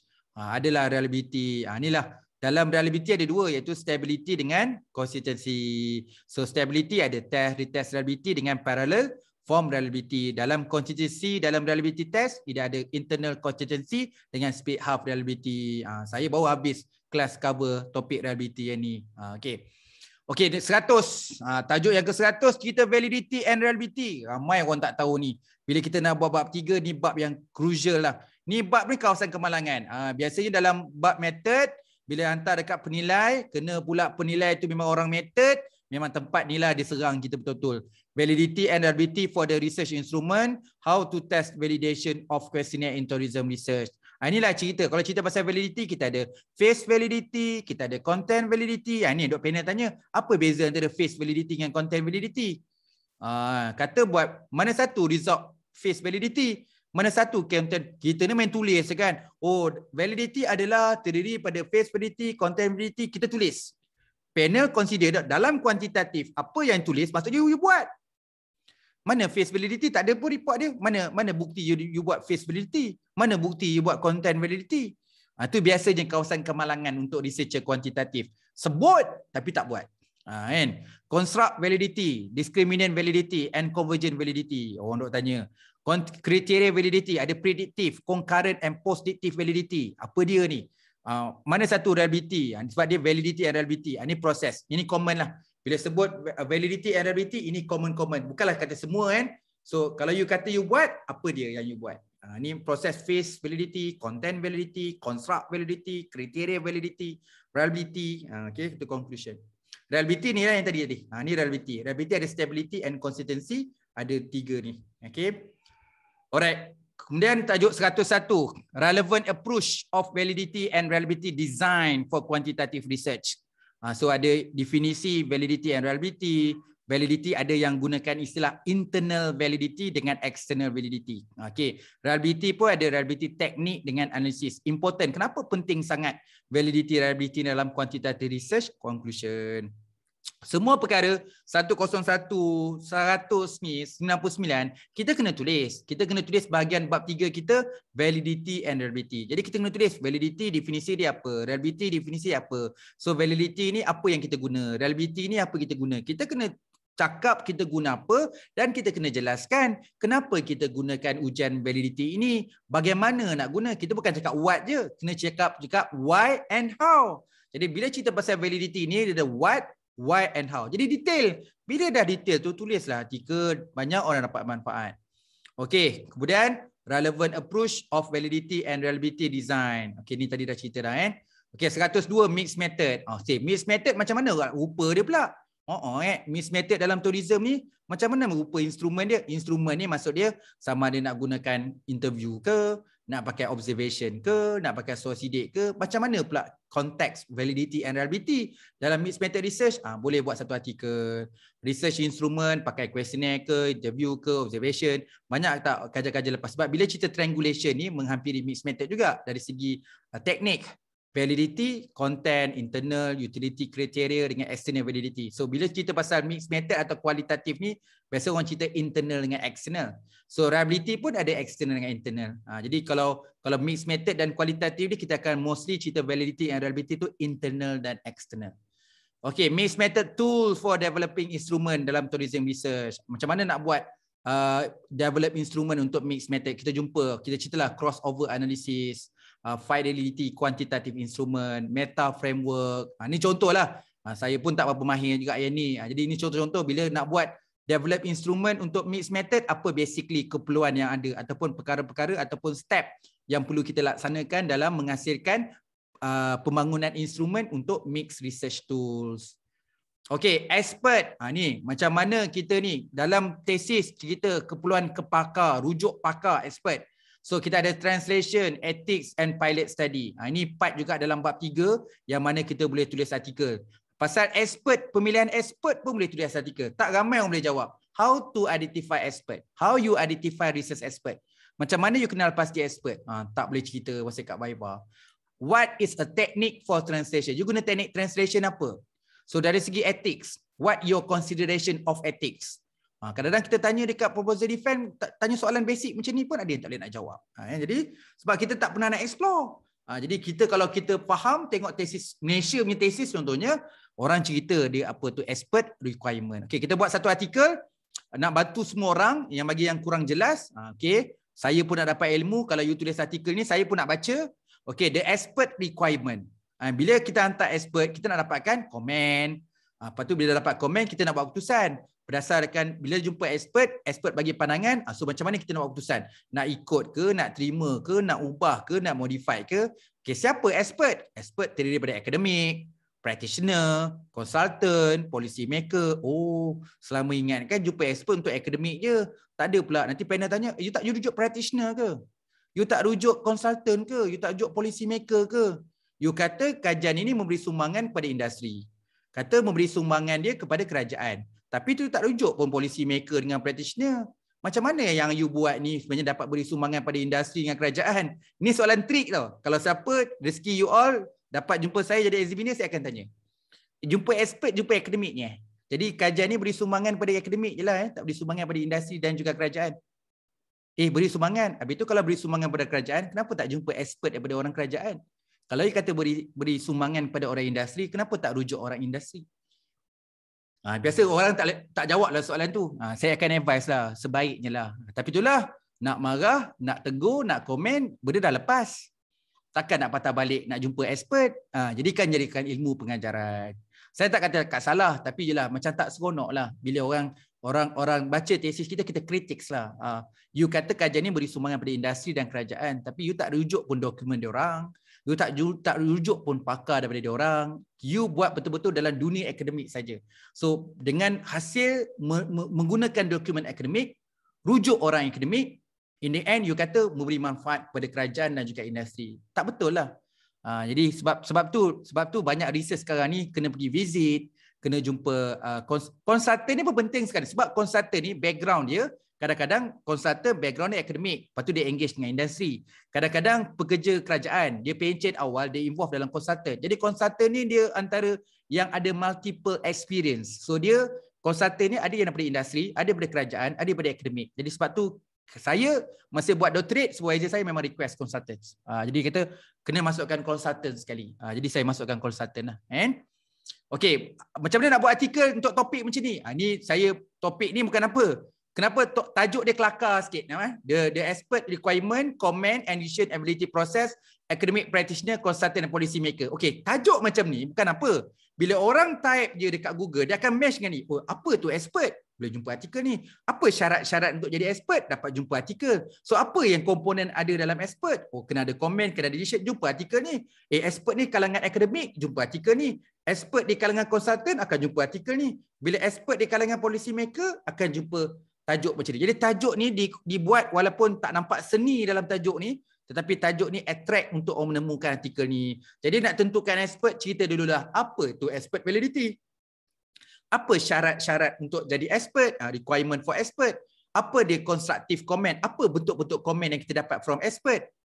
So, lepas dapat komen, kita nak kena buat apa? What is your decision process? Nak remain ke? Nak improve? Apa tu conclusion? So, artikel ni kalau kalau terbit, saya pun salah seorang yang akan download artikel ni dan saya akan bagi student. Ha, siapa tengah cari expert, ha, baca artikel ni. Baru faham apa tu expert validity. Ha, kan? Okay, collaborating with the tourism expert panel to establish content validity. So kita nak buat content validity. Ha, kata nak buat content validity of the intervention. So apa apa bentuk yang kita boleh buat? Okay, content from the book reading intervention ada. Ha, boleh buat content validity on the intervention development. A process establish content validity content validity in term of team, content validity in term of rating. Ha, ni banyaklah cara dia. Dalam kes ni based pada intervention. Start pada document, book reading. Start pada intervention development. Kemudian kita buat content validity. Tengok content validity dengan team, dengan rating. Okay, strategi that overcome language. Ha, masalah-masalah bahasa lah. Jadi kadang-kadang kita cerita juga dalam bagian limitasi dekat metodological ada methodological limitation. Ha, dari segi nak collect data ni kadang-kadang contoh pengalaman saya lah. Bukan pengalaman lah pengetahuan saya. Saya ada sahabat saya uh, dia senior saya lah masa saya buat doctorate. Uh, siapa nama dia? PM PM Dr Nur Hayati Zakwan. So dia senior saya masa saya buat doctorate. So dia buat kajian dekat otomotif di Malaysia dan di Thailand. Jadi bila saya tengok tesis dia dekat belakang dia menggunakan bahasa Thailand. Soal sidik tu dalam bahasa Thailand tau Padahal boleh je buat soal sidik dalam bahasa Melayu tapi dia buat dalam bahasa Thailand sebab dia nak collect data di automotive Thailand. Saya suka research yang macam ni. Okay, bila student saya, dia ni fast track. Saya saya bagi tajuk yang susah sikit untuk dia sebab nak bagi orang yakin bahawa dia ni boleh buat PhD daripada degree, tak payah buat master, buat PhD. Tapi kita nak proof dekat orang sekeliling bahawa okay, dengan dengan talent, dengan hard work, dengan dengan kesanggupan dia, so kita buat tajuk dia dengan woman entrepreneur Malaysia and Indonesia. Ketika tu buat kajian bahawa ketika tu kita ketinggalan dengan Indonesia tapi kita menang satu perkara dengan Indonesia iaitu teknologi. So pasal social media Malaysia jauh ke depan. Ternyata kita dah kalah juga. Indonesia dah potong kita balik. Ha, jadi uh, kajian itu dibuat kalau sekarang tak relevan lah tajuk ni. Tapi 3-4 tahun yang lepas tajuk tu masih lagi relevan. So dalam kes ni soal sidik student saya dalam bahasa Indonesia. Ha, jadi kita memang ada dua bahasa. Satu bahasa Melayu, satu tiga bahasa bahasa Melayu, English dengan uh, bahasa Indonesia. Uh, baru tadi baru minum, bukan minum lah, kita bincang dengan sahabat saya, dia kata macam mana kita punya bidang ilmu kita kat Malaysia ni nak dikenali oleh luar. Kita ada bajet, sikit bajet. So dia kata daripada kita buat buku bahasa Melayu, yang kita buat bahasa bahasa Korea. Dan buku kita ni marketkan kat Korea. Kita minta bajet, buku ini ditranslatekan dalam bahasa Korea something example lah. It's not Korea lah. Mana-mana lah. Tapi selain kita nak tembus negara tu, kita masuk buku macam tu. Menarik tu. Uh, that, that kita nak, tu yang kita fikir lah. Kita nak hantar kita kerja. Bajet ada. Jadi kita nak mohon supaya buku ni bukan tulis dalam bahasa Melayu. Bukan tulis dalam bahasa Inggeris. Tapi tulis pakai terpulang lah. Jerman ke, Japan ke, Korea terpulang lah. Uh, jadi dalam case tu yang tu. Maksudnya sekarang ni, Yelah kita nak overcome language tu. Uh, dalam research memang itu halangan-halangan dia lah. Okay, language barrier dalam tourism. Bila kita tahu pelancongan. Pelancongan memang sangat dekat dengan isu language barrier ni. Okay, overview type of tourism interpreter and the potential roles, qualitative and quantitative research data consideration, survey instrument and translator, budget uh, for interpretation and translation, discussion and conclusion. Jadi kalau isu ni, isu translation ni cost bagi student. Postgrad ada cost. Macam mana nak overcome masalah different language atau language barrier ni. And Translate the tourism research instruments, research process, pitfall and the challenge. Uh, so translation. Ingat kita bincang ni pasal validity, reliability, ethics, translation, semua perkara tu kena bincang dalam bab metodologi. Uh, okay, jadi type of translation method and the translation process, method for testing, translate research, instrument, challenge and method for minimize error and translation conclusion. Saya mohon maaf eh, saya bukan nak ajar pasal method. Tetapi nak beritahu banyaknya perkara dalam metod ni boleh cerita. Pasal expert pun boleh tulis artikel. Pasal translation pun boleh tulis artikel. Pasal language barrier pun boleh tulis artikel. Pasal instrument pun boleh tulis artikel. Semua perkara yang tertulis dalam metod tu sebenarnya ilmu. Dan ilmu tu susah nak faham. Susah nak kita nak mendalami. Dan kita mengambil banyak masa nak tulis ke bab tiga. Kan? Kongsilah, share lah. Tulis artikel supaya orang lain dapat manfaat. Okey, kemudian back translation. Ha, ini ceritalah kalau kat Malaysia tengah famous kan ni. Oh, saya tak nak direct translation. Saya nak back to back translation. Back to back translation pula yang kita tahu back to future je. Jadi balik-balik kau kepala tengah drive kereta back translation procedure ni apa dia pula? Kita buat kita buat apa uh, translate daripada questionnaire betul bahasa Inggeris. Ha, kita adopt atau adapt buat dalam bahasa Melayu. Balik-balik supervisor kata buat back to back translation. Kita pun type, type, type tak jumpa, type, type tak jumpa. Ha, mulalah telefon sana, telefon sini minta pertolongan. Ya apa dia back to back translation tu? Oh, baru faham back to back translation ni kena ada tiga orang at least. Ha, tiga orang katalah pakar dalam English. Dalam konten dalam bidang tu dia mahir. Ha, dia pun memang pakar untuk part translation and proofread ni. Jadi tiga orang. Orang pertama ambil yang asal tukar pada bahasa yang dia nak. Contohnya asal bahasa Inggeris. Bahasa Inggeris, uh, translator yang pertama convert dalam bahasa Melayu. Itu tugas orang pertama. Tugas orang yang kedua, translate balik yang dalam bahasa Melayu tu ke bahasa Inggeris balik. Orang ketiga ni check. Oh yang bahasa Inggeris yang asal dengan bahasa Inggeris yang daripada BM translate balik bahasa Inggeris tu tengok ada banyak tak perbezaan. Ha, buatlah sampai mendapat satu titik yang okey lah. Ha, pindah balik bahasa Melayu, pindah balik bahasa Inggeris tak jauh beza ataupun okey. Dan itu dia panggil back to back translation lah. So step by step dia ah, bawah tu lah. Mula-mula kena overview definisi back translation ataupun cerita tentang definisi apa tu back translation. Kemudian kena target language, language apa yang kita nak buat. So kena translate research item tu. Lepas tu kena pre-test research item, validate research item. Yang tu perlukan at least tiga orang untuk dalam proses untuk buat back to back translation. Okay, research ethics. Ha, sekarang ni tengah hot. Semua universiti diminta. Eh, sekarang ni KPT mengarahkan semua universiti bincang balik tentang prosedur dan protokol untuk research ethics. Wajib semua student postgrad, researcher ada research ethics dalam bab tiga. Ha, dah ada trend dah. Ha, jadi cuma sampai tak sampai dia maksudnya kena ada research ethics dekat tiga poin berapa ni? Kena tulis tu 3.6 ke 3.9 ke 3.11 ada ruang research ethics. Ha, ada nama je research ethic consideration, ada yang buat research ethic management. Ha, kena ada, ada tulis research ethic saja. Ha, jadi kena ada outline dalam tesis. Jadi kat Malaysia ni tengah benda tu baru lagi. Ha, untuk setengah-setengah bidang lah, bidang hospital, klinik, healthcare dah lama dah. Bidang-bidang sains yang bedah-bedah tikus, bedah katak tu dah lama dah. Yang bidang sains sosial yang lain-lain ni, ha, banyak yang tak didedahkan lagi dengan research ethics. Okay, introduction, apa itu research ethic definisi, apa tu research ethic considerations, procedure research ethic, integrated integrity or research ethic, application research ethic. Kita nak tulis bahawa contohlah kita nak tulis tesis kita, okay, untuk universiti, Universiti Pendidikan Sultan Idris mengamalkan prosedur research ethic dengan mengisi form ini. Kita pun nak gujuk, okay, ini juga pertempatan oleh Fazli 2018 bahawa form merupakan elemen dalam prosedur research ethic. Sebab kita nak buat citation. Jadi dengan adanya artikel macam ni, bantulah orang-orang yang nak tulis dekat bahagian 3.11 research ethic tu nak buat citation. Okey, 110 a review of research ethics in internet base. Ha, sekarang ni banyak orang collect data gunakan alam maya. Okay, waktu pandemik, waktu COVID-19, semua gunakan platform data collection secara online. Tapi tak banyak orang bincang tentang research ethics online. Okay, jadi kita pun uh, nak nak supaya bila panel kata supervisor kata atau panel kata, okay, you buat apa data data collection pasal pasal online? Okay, saya nak nanti dekat bab 3 tolong tambah eh, research ethic untuk internet based research. Kita pun balik gaul kepala lah, Ana pula nak cari buku cerita tentang ethics Maksudnya ada etika mengumpul data data secara online. Ha, jadi kita pun kena tulis dalam bab tiga dia. Tengah-tengah cari jumpa artikel ni, a review research ethics internet based research.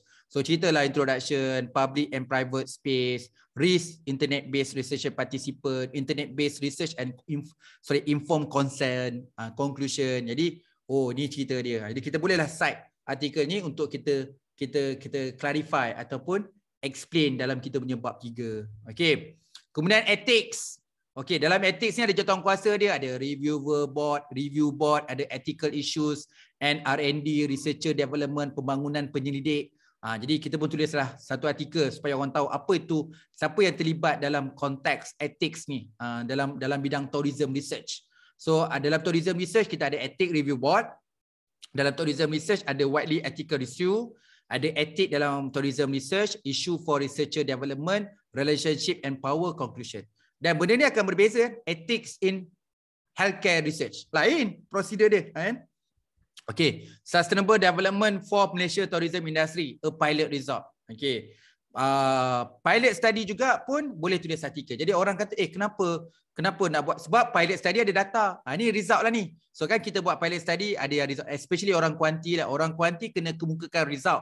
Bagi orang kualitatif, kalau pilot study dia tak perlu analyze. Tapi untuk kuantitatif research, pilot study kena analyze. Okay, yang ni konteks ni buatlah. Katalah ini kuantitatif lah sebab analyze kan. Sustainable Development for Malaysia Tourism Industry a pilot result. Ceritalah macam biasa, artikel macam biasa.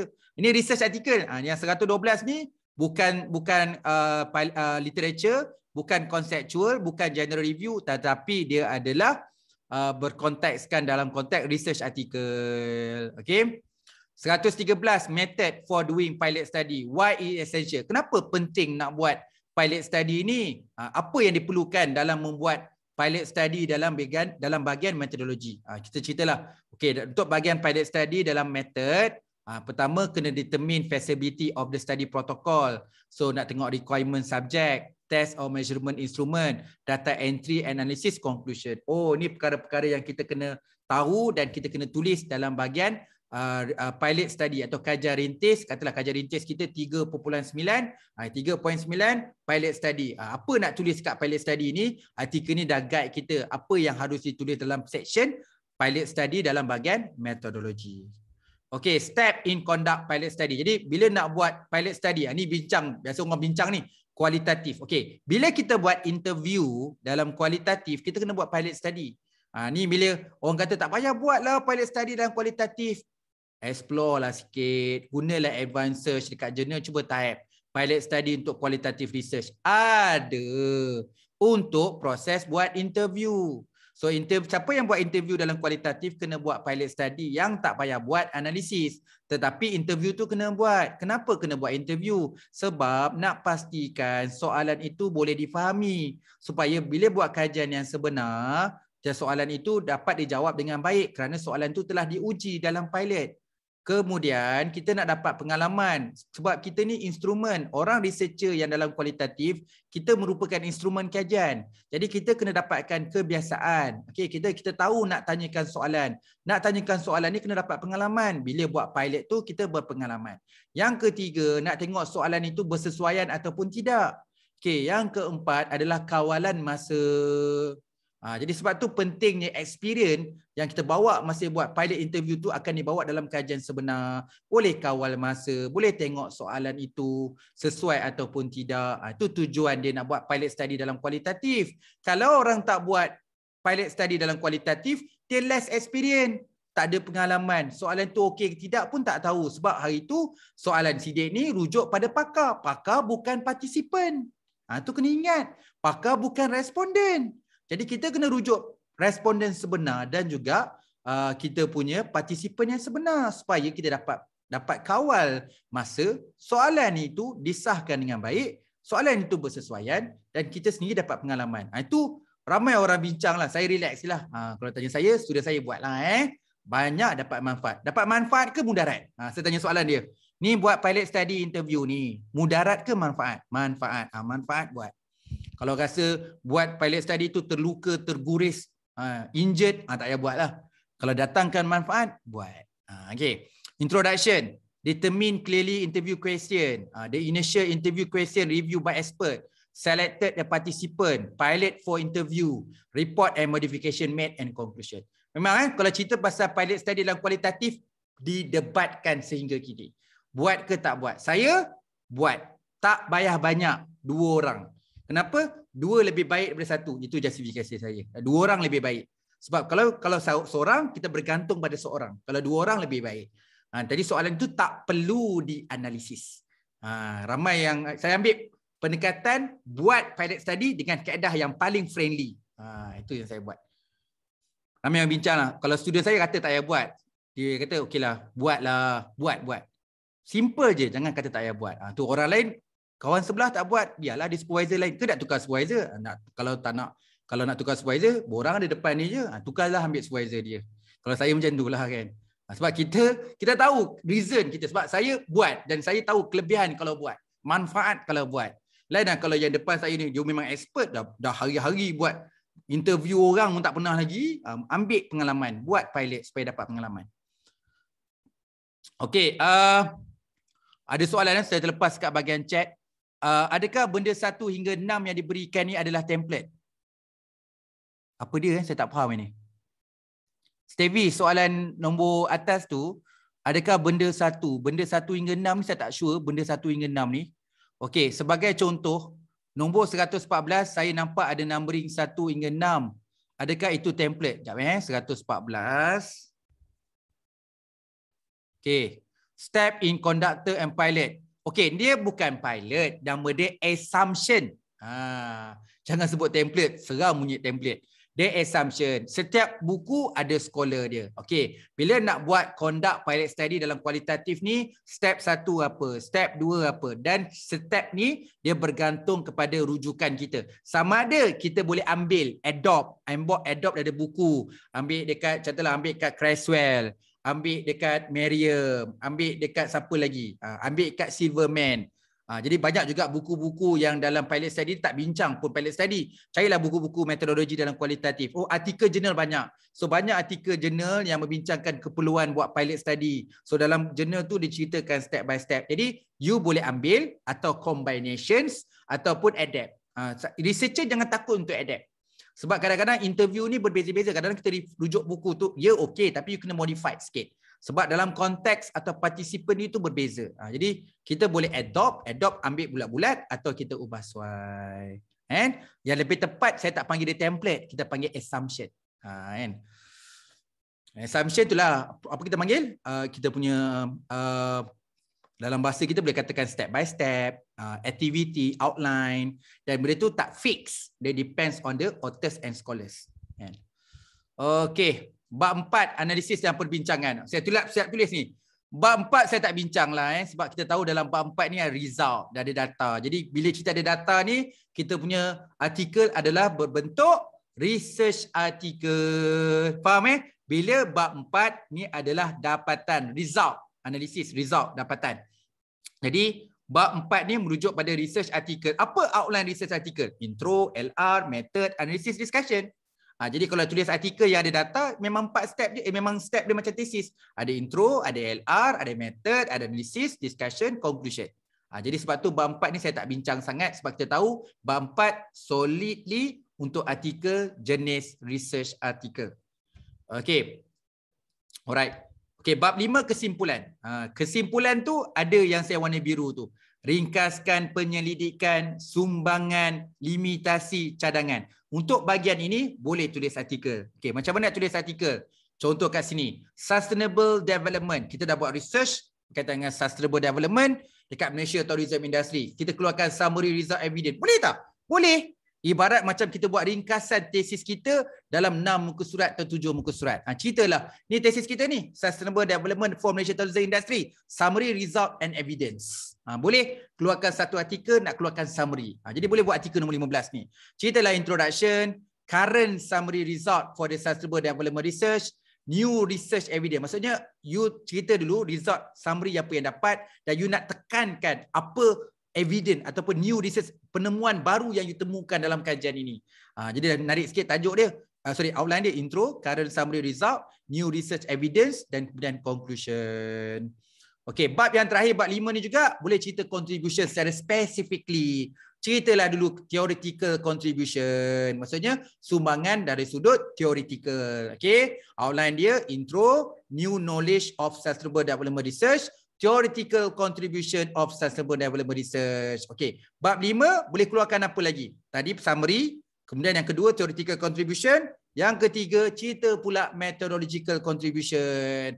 Apa sumbangan method dalam kajian ni? Ceritalah new research design. Okay, cerita methodological contribution of sustainable development research. Okay, theoretical pun sudah, methodological contribution sudah. Apa lagi boleh buat?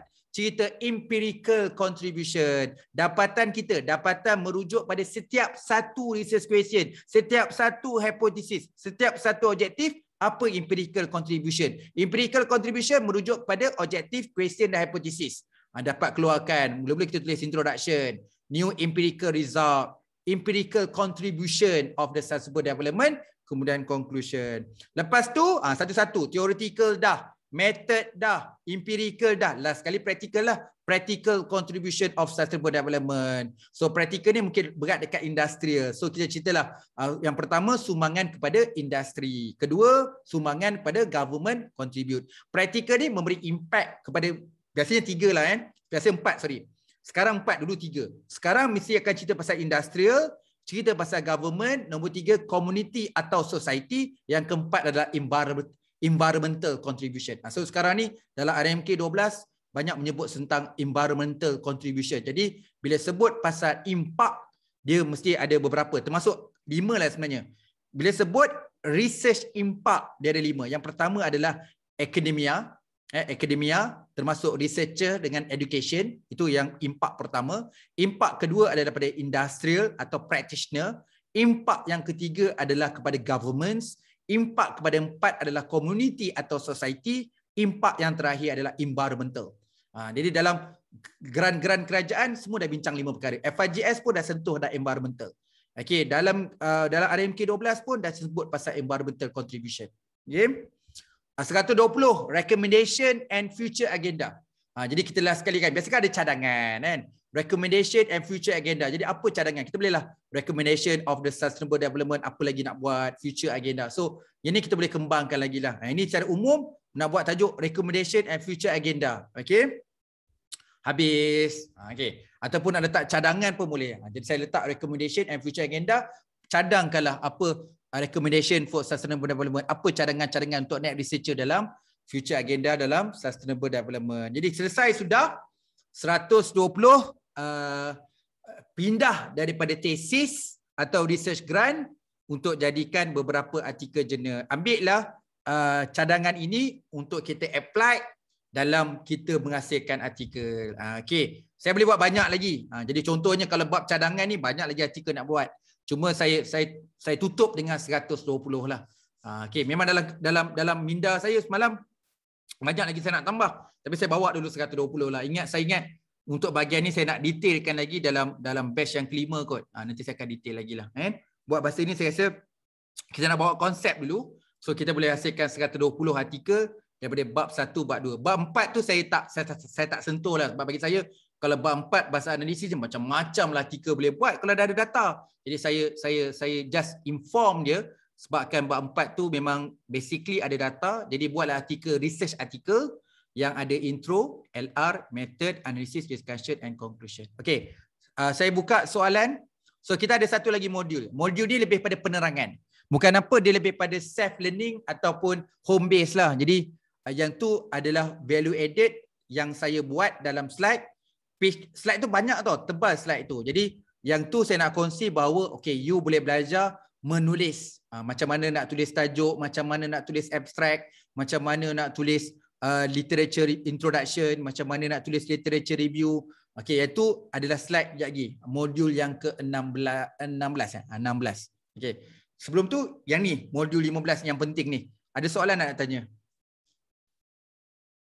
Review data sheet cancer report boleh. Ha, ni Latifah tanya soalan. Bagi saya report tak ada masalah. You nak review annual report. Tak banyak pun review tentang lima annual report pun boleh. Uh, lima tahun pun boleh. Cuma uh, saya tanya soalan siapa Latifah. Latifah, kita yang pertama yang peringkat awal tip nombor satu tu pemilihan dan penyiasatan jurnal. Jadi kat sini kita kena cari jurnal dulu. Okey, yang gunakan data sheet. Dalam kes ni cancer report kan. Kat mana yang orang membincangkan atau review cancer report tu di jurnal mana? So kalau you dah jumpa jurnal yang ada, kan, maksudnya bukanlah kata satu je, ada beberapa. Kita dah jumpa yang terkini, kajian terbaru, dalam isu yang terbaru, ada yang membincangkan ataupun review tentang uh, cancer report on data sheet. Ada. Jadi you bolehlah pilih jurnal tu. You decide. Ada. You kata ada kan? Ada. So ada, you belajar. Tengok apa biasa orang terbit kat situ, tengok macam mana dia punya outline. Tengok macam mana, kalau kata data tu, banyak mana data tu. Okay, macam mana dia analyze. Belajar tekap dan you buat kat situ. Ha, bagi saya kalau dah ada track record, ada, proof pun dah ada dan kita bolehlah buat. Ha, kan? Dengan slide ni sebenarnya buka ruang lah. Tapi kita boleh buat sebab dah proof kat satu jurnal tu ada. Dan saya pun dah 120 ni walaupun saya cakap semua tu boleh terbit artikel tapi tugas kita untuk identify dan juga investigate tu part yang yang bagi saya important and crucial part lah. So kena kena kita kena selami dan kena dalami dulu sebab kita nak meningkatkan potensi, ha, nak meningkatkan peluang tu, so kita kena ada usaha untuk mengidentify dan juga investigate. Tu tidak ada shortcut lah. Ha, bagi itu, itu adalah personal punya efforts untuk kita menerapkan kesukaan, ha, menerapkan passion kita dalam dalam membuat R&D ni. Memang kerja R&D ni memang ada banyak. Kita kena kena ada alert dari segi kalau orang yang ada pancaindera yang bagus ah, dia suka observe. Jadi dia ada kelebihan dalam observation. Ada orang yang lebih sifat critical and clinical. Ah, jadi kalau tengok dokumen tu betul-betul dia deep. Ah, okay. Ada orang yang bagus dekat 5S dia bagus dekat susun sorting sisih standardize dia belajar tekap. Belajar tekap dengan gunakan 5S buat CPR, copy, paste, replace. So asing, susun, tambah, tolak, bahagi, campur. dia buat benda tu semualah. Jadi semua tu memang sifat-sifat seorang researcher lah. Uh, dia bukan uh, shortcut. Researcher jarang kita jumpa shortcut researcher tak ada. Uh, kan? Researcher detail. Detail tu kena tempat dia. Ada masa sangat-sangat detail. Ada masa dia detail je. Ada masa dia flexi. Ada masa dia simple. Ada masa dia freedom. Uh, jadi dalam kes tu kita kena alert lah. Selaku researcher, kita nak menulis artikel, kita kena ada attitude yang tu. Kan? Okey, ada soalan nak tanya?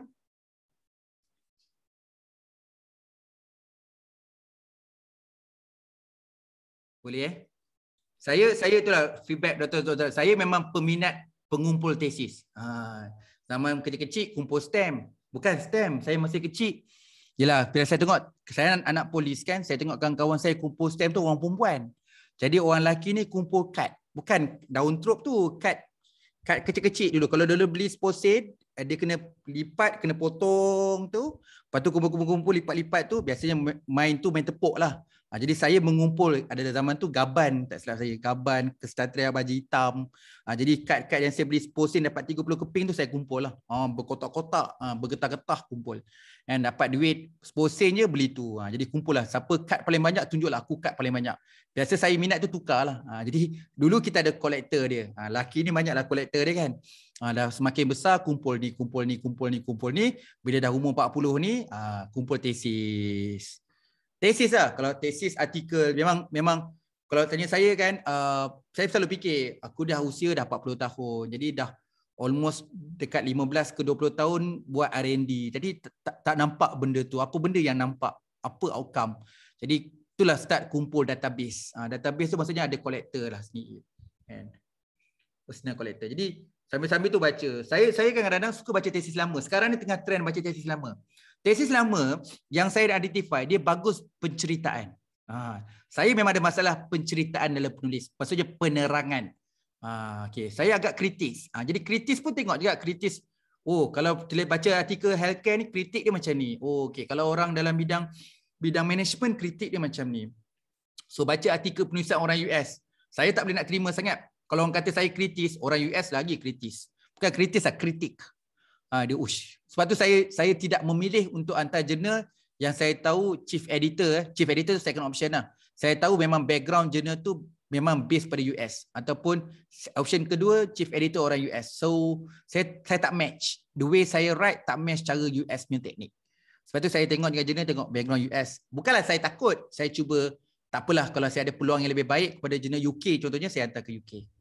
Ha, eh, satu lagi macam saya pun tak belajar lagi cara-cara menulis macam saya pun uh, kalau ada satu jurnal tu memang student saya nak hantar. So kita nak cari proofread. Saya kata dengan dia cari proofread yang US based. Maksudnya orang tu memang belajar dekat US, katalah belajar master atau PhD kat US, so dia tahu macam mana lenggok penulisan English US. Ha, jadi susah nak cari. Ramai kat Malaysia ni UK. Nak cari US tak ramai. Ha, jadi bukan apa kita nak bayar dah mahal. Contohlah bayarlah duit hantar buat proofread tu translation ke. Tetapi kadang-kadang tak kena translation yang betul pun chances untuk terbit pun rendah juga. Ha, eh. ada soalan nak tanya?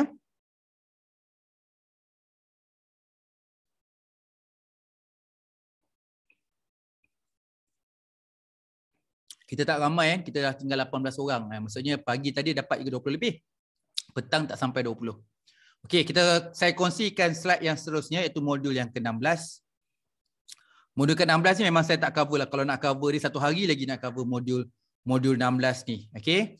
Modul 16 ni lebih pada kalau macam TOT yang uh, batch yang ketiga pun dia jadi macam self assessment lah eh. Maksudnya konsep reverse sendiri lah eh.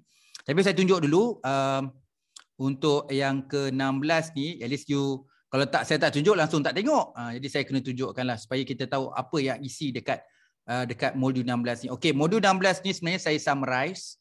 Summarize. Saya pernah buat kelas. Nama dia kelas tu adalah kelas mengaji grup WhatsApp. Uh, grup WhatsApp uh, batch bukan batch satu dia panggil uh, grup WhatsApp satu, grup WhatsApp dua. Maksudnya lepas dia lengkap tiga bulan kelas mengaji WhatsApp selama tiga bulan tu level 1 ah uh, level nama dia level 1 so level 2 jadi saya compress maksudnya saya saya baiki dan saya saya delete lah mana yang saya rasa tak sesuai tu jadi saya sharekan jadi jadi slide. Sekejap eh. So kat sini dia 500 slide. Dia jadi berat. Sekejap eh. Mana nak, nak share pun dia jadi macam tak apa nak friendly nak share. Sebab slide ni berat. Eh. Saya tak share kat you nanti saya share eh. Share slide ni. Uh, okay ni. Ni lama ni nak siapkan slide ni. Uh, almost 10 month ke apa nak siapkan slide ni. Jadi saya compresskan lah. Itu pun tak tak lengkap tak tak lengkap lah. Ini pun dah dalam 500 slide eh. Ah, bolehlah belajar ni. Saya sikit-sikit saya antara orang yang biar perlahan belajar satu-satu. Uh, words belajar words by words, sentence by sentence. Uh, okay. Ni kita nak tulis artikel jurnal dalam konteks perkataan, ayat dan perenggan. Ah uh, tu nama dia. Ni modul yang ke-16 lah. Saya nak beritahu bahawa you kena bila jumpa ayat yang best simpan. Jumpa ayat apa jumpa perenggan yang best simpan. So simpan tu macam mana kan? Jadi saya fikir-fikir nak simpan buat dalam slide. Jadi saya kalau PDF tu saya potong, saya crop, saya letak kat slide. Jadi saya buat macam inilah. Okey. Abstract artikel journal. Uh, bedah bincang untuk menulis abstract artikel journal yang yang baik. Okey. Ini contoh saya tunjuk artikel saya sendirilah kan. Bukanlah kata saya bagus sebenarnya. Sebenarnya motif saya tunjukkan ni saya nak beritahu okey level saya setakat ni. Macam mana saya nak improve supaya tulis abstract saya lebih baik. Ha, sebelum saya nak improve, saya tengok dulu kelemahan apa yang saya buat. Okay. Ni tajuk Critical Success Factor of Sustainable Manufacturing Practice dekat Malaysia Automotive Industry. So hantar jurnal dekat Taylor and Francis. Free ya, tak kena bayar jurnal ni. Berindeks. Dua-dua indeks ada. Web of Science pun ada, Scopus pun ada. Dekat International Journal of Sustainable Engineering. Okay, artikel ni 2017. Alright. Okay, jadi abstract dia saya saya saya, saya potong lah supaya nampak-nampak. Saya buat macam ni. Okey, kalau tengok line pertama, apa yang saya tulis adalah cerita tentang, saya tulis kat bawah tu lah, nombor satu, tujuan. So line yang pertama ni adalah tujuan dan objektif artikel ini. Uh, the purpose of this study to is examine the critical success factor of success. So, so kita plan, kalau macam nak belajar tekap kan CPR, copy, paste, replace. Kalau you nak hantar International Journal of Sustainable Engineering dan you rasakan abstract saya ni paling hampir dengan you punya research, jadi boleh belajar tekap lah. Jadi kalau kat sini, apa yang kita nak buat?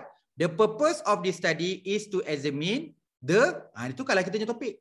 Jadi atas ni saya copy je. The purpose of this study saya ikut je. Ha, itu namanya CPR. Okay, tukar daripada topik masing-masing. Okay. Kemudian, uh, yang kedua, the questionnaire were designed, uh, dalam case ni questionnaire lah. Okay, kalau kata you pun pakai questionnaire, boleh lah. The questionnaire were designed and distribute to the 50. Ini tukarlah responden berapa. Uh, dalam kes ni saya beritahu saya hantar 50. The pilot study sample consist 26. Cuma 26 je respon yang respon daripada 50. Membawa kepada respon rate dia 52%. Eh, 26 kali 26 per 50 tu dapat 52%. Okay, line kedua ni cerita tentang, okay, ni line nombor 2 dan nombor 3 lah kan. Nombor 2 dan 3 ni cerita tentang teknik pengumpulan data iaitu base pada kajian rintis menggunakan instrumen iaitu soal sidik dan jumlah interpretasi. Jadi saya interpretasi. Saya beritahu line pertama ni saya buat apa. Line pertama tadi warna merah tu tulis tentang tujuan objektif artikel.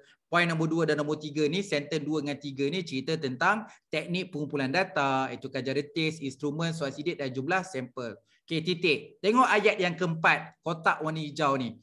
The result of reliability analysis show that social responsibility is critical factors influence the direct SMP's implementation success. Ini maksudnya cerita keputusan atau dapatan kajian yang diperolehi. Okey, ayat yang kelima iaitu it can assist company to improve quality program ni adalah kelebihan dan manfaat.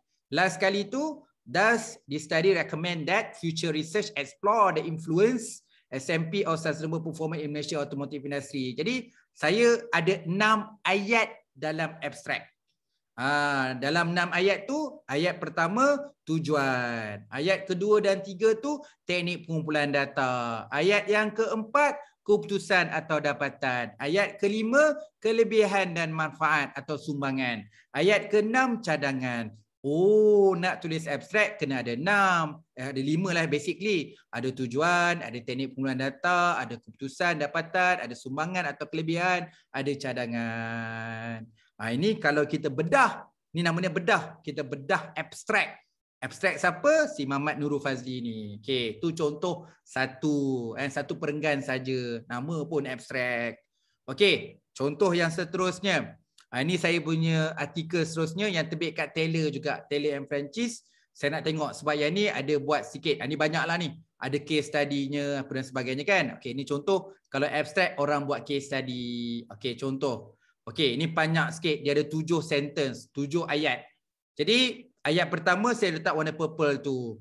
Automotive industry is one of the most active industry involved. So, ayat pertama tu pengenalan. Ha, nak beritahu pengenalan dan menekankan kritikal dan kepentingan. Jadi, nak beritahu, okey, jurnal ni, International Journal Industry and Production Engineering ni, kita boleh mulakan dengan ayat pengenalan. Tapi jurnal ni tadi, dia tak ada pengenalan, dia terus pada objektif nampak the purpose of this study. Jadi kita tahu, okay, nak hantar jurnal dekat international journal, kalau buat abstract tak ada pengenalan, terus pada objektif. Tapi kalau nak hantar jurnal dekat Lindsay, eh, jurnal Lindsay, maaf pula.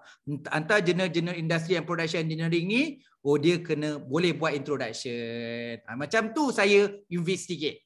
Kalau saya nak buat abstract, saya kena tengok kat jurnal tu. Ada pengenalan ke tak ada pengenalan? Atau terus pada objektif? Ha, ni contoh kedua. Saya tak boleh kata, okay, Taylor and Francis ni, dia ada pengenalan. Tak. Ini pun Taylor, yang ni pun dekat Taylor. Kita tak boleh tengok publisher. Kita tengok jurnal. Setiap jurnal ada amalan yang berbeza-beza. Ha, okay. Untuk jurnal ni, amalannya begini. Okay. So, yang pertama, cerita pengenalan. Poin yang kedua, Today Lindsay Sima integrate ah itu nak tunjukkan tujuan objektif artikel ni. Kemudian poin nombor tiga, poin nombor empat, poin nombor lima iaitu adalah teknik metodologi. Dalam kajian ni gunakan analytical hierarchy process iaitu AHP, kemudian gunakan pembangunan sistem guna Excel base dan buat pengesahan validity dengan menggunakan kajian case. So ada tiga dah. Pakai decision science dengan AHP, gunakan development dengan guna Excel base dan gunakan kajian kes. Jadi poin nombor 3, 4, 5 ni tiga perkara tu. Okay. Memang saya punya doctorate memang detail sikit lah. Saya buat pertama, objektif pertama pakai uh, pakai survey iaitu pakai SEM. Okay. Kemudian baru pakai decision science. Kemudian buat sistem guna Excel. Kemudian buat kajian kes. Uh, saya punya doctorate tu, so cakap doctorate saya tu memang memang belajar sungguh-sungguh lah. Dan saya pun sebenarnya tak tak mahir. Ha, jadi bila buat doctorate engineering tu, mana yang saya rasa baik untuk saya, walaupun susah, saya buat je. Ha, itulah, kalau kata nak buat doctorate lagi sekali tu, so kalau orang tanya saya lah kan, Fazli, doctorate dengan PhD, siapa mana lagi susah? Uh, saya suka dua-dua, dua-dua ada kelebihan. Uh, cuma doctorate saya tak ada komitmen kau nak buat. Sebab doctorate kena pergi kelas dua tahun. Kena pergi kelas, kena make exam, kena present susah doctorate punya kelas susah eh nak kena jumpa interview dan sebagainya tough. Doctorate tough. Kemudian nak kena buat tesis. Kan? Exam boleh tutup lulus, kena repeat dan bagainya kan. Lepas tu baru boleh buat step nombor dua nak kena kena buat tesis. Tesis doctorate tak ada beza dengan PhD. Sama je. Tetap ada lima chapter juga. Sama je. Jadi kemudian masa saya buat doctorate engineering kena buat attachment. Kena attach kat industri lagi. Ha, jadi kalau nak buat doctorate engineering kali kedua, banyak kali fikirlah. Okey, PhD saya tak ada masalah buat kali kedua, kali ketiga, kali keempat. Ha, sebab PhD ni dia lebih macam saya buat doctorate tu structured tau. Doctorate is structured. Ha, dia tak boleh melambat-lambatkan proses. Dia kena structured. Tapi kalau PhD ni, ha, sebab tu kata memanglah saya boleh buat PhD kedua, PhD ketiga. Tapi kita tahulah style saya relax je. PhD yang kedua pun dekat 9 tahun. Saya register 2012, habis 2020. 9 tahun tu. Ha, jadi PhD yang kata senang, senang ke PhD buat kali buat PhD? Nak kata senang, susah nak cakap this file. 9 tahun juga buat. Ha, kan? Jadi consider, tapi kalau nak buat PhD lagi satu, saya sanggup buat PhD. Doctorate bukan tak sanggup. Commitment. Ha, commitment. Dia structured kan. Kelas kena pergi, tak boleh missing. Kalau kalau buat artikel ni, uh, buat, buat PhD ni, hari ni tak baca jurnal pun tak apa, besok boleh baca jurnal kan. Uh, tapi kalau doctorate ni, dia kena commitment. Uh, itulah kalau in term of commitment, saya tak sanggup bagi buat doctorate. Tapi kalau buat PhD tak ada masalah. Eh, PhD pelan-pelan. Ada setengah universiti lifelong learning. Nak buat 15 tahun PhD pun tak ada masalah. 20 tahun PhD pun tak ada masalah. Cuma kat Malaysia ni structured lah kan. Kalau lebih 6 7 tahun ke fail. Ha, kan. Alright, kemudian kat sini kan, bacalah artikel ni saya dah sim, saya simplify ni namanya bedah abstract lah. Ha, last kali tu lepas buat keputusan this tool was timely and suitable to determine audition performance tu keputusan kajian last kali kelebihan lah able to identify strengthen weaknesses atau ha, kelebihan ni. Ha, jadi artikel ni untuk bahagian case study. Semalam ada yang tanya kan, contoh case study. Ha, ni contoh artikel saya yang buat buat case study lah. Ha, tapi case study cara engineering dia quite simple lah. Eh. Okay, uh, yang ni uh, paper conceptual. Ha, ni contoh tadi abstract. Ni abstract contoh case study. Ha, ni contoh uh, abstract untuk yang buat survey ataupun quantitative research. Okay, ni contoh abstract yang buat paper conceptual. Ha, ni tajuk yang saya buat paper conceptual eh. Ha, ni. Uh, sorry, Okey, inilah saya screenshot. Okey, ada enam, ada enam sentence atau enam ayat. Ayat pertama tu, the automotive industry is is important industry. Ah, itu pengenalan dan pendekatan pen, penekanan kritikal dan kepentingan. Okey, ayat yang kedua tu review structure ni, ah maksudnya apa saya nak buat? Saya nak review kan? So paper conceptual adalah nak buat review. Saya nak review tu adalah tujuan dan objektif. So tujuan dan objektif kajian artikel ni adalah to review structure analysis ISO, efforts and CSR performance for Malaysia automotive industry. So warna purple ayat nombor 3 dan nombor 4 tu adalah kandungan ulasan review. Apa yang saya temukan lebih daripada review? Okay, dia study to review ISO. Uh, kemudian saya akan dapatkan two main performance iaitu environmental performance and social performance. Itu penemuan daripada hasil review. Okay, keputusan apa apa output dapat? Output dia dapat propose. Propose structure realization model. Itu keputusan dapat propose. Okay, last kali tu saya buat cadangan. So saya kata di akhir tu saya beritahu juga dalam review ni, dalam propose ni, saya akhiri dengan suggested future research work. Jadi ada enam ayat. Ini contoh abstract bagi paper conceptual. Ha, yang tadi tu ha, contoh abstract untuk case study atau qualitative research. Ini contoh abstract untuk buat quantitative research. Okay, kita bedah. Ini namanya bedah. Bedah ni memang seronok. Tapi kalau kita nak bedah 500 muka surat ni sampai malam tak habis. Minta saya silap esok pun tak habis. Jadi sebab tu kena self learning. Ha, nanti you self learning lah kan. Ha, bedah bincang untuk menulis artikel abstract conceptual. Ha, ni lain-lain lagi lah. Ha, ni contoh. Ya, nanti tengok paper ni kan. Paper orang lain. Ha, okay, tengoklah paper-paper yang paper conceptual saya yang lain. Ha, boleh tengoklah. Ada yang saya buat 6 sentence. Ha, ni nak bedah bincang menulis abstract. Ni artikel literature review pula. Uh, kalau nak tengok artikel literature review macam mana nak buat abstract contohnya. Uh, ni jenis artikel literature review. Uh, ni cara abstract untuk artikel literature review. Okey, ni uh, abstract untuk jenis general review. Uh, contoh ni. Uh, ni general review. Uh, macam ni ni rupa abstract dia. Okey, uh, ni paper paper general review semalam kita bedah entrepreneurship and universities. Uh, simple je ni abstract dia kan. Uh, dua sentence je. This paper examining the link between tu tujuan dan objektif this paper find three way itu keputusannya. Dia menemukan uh, bahawa uh, dalam perbincangan dalam membincangkan journal review berdasarkan sokongan sumber dalam literature. Okey, ini contoh uh, abstract dalam short communication. Uh, ini short communication kan? Ha, ini contoh abstract short communication. Ha, ada lima sentence.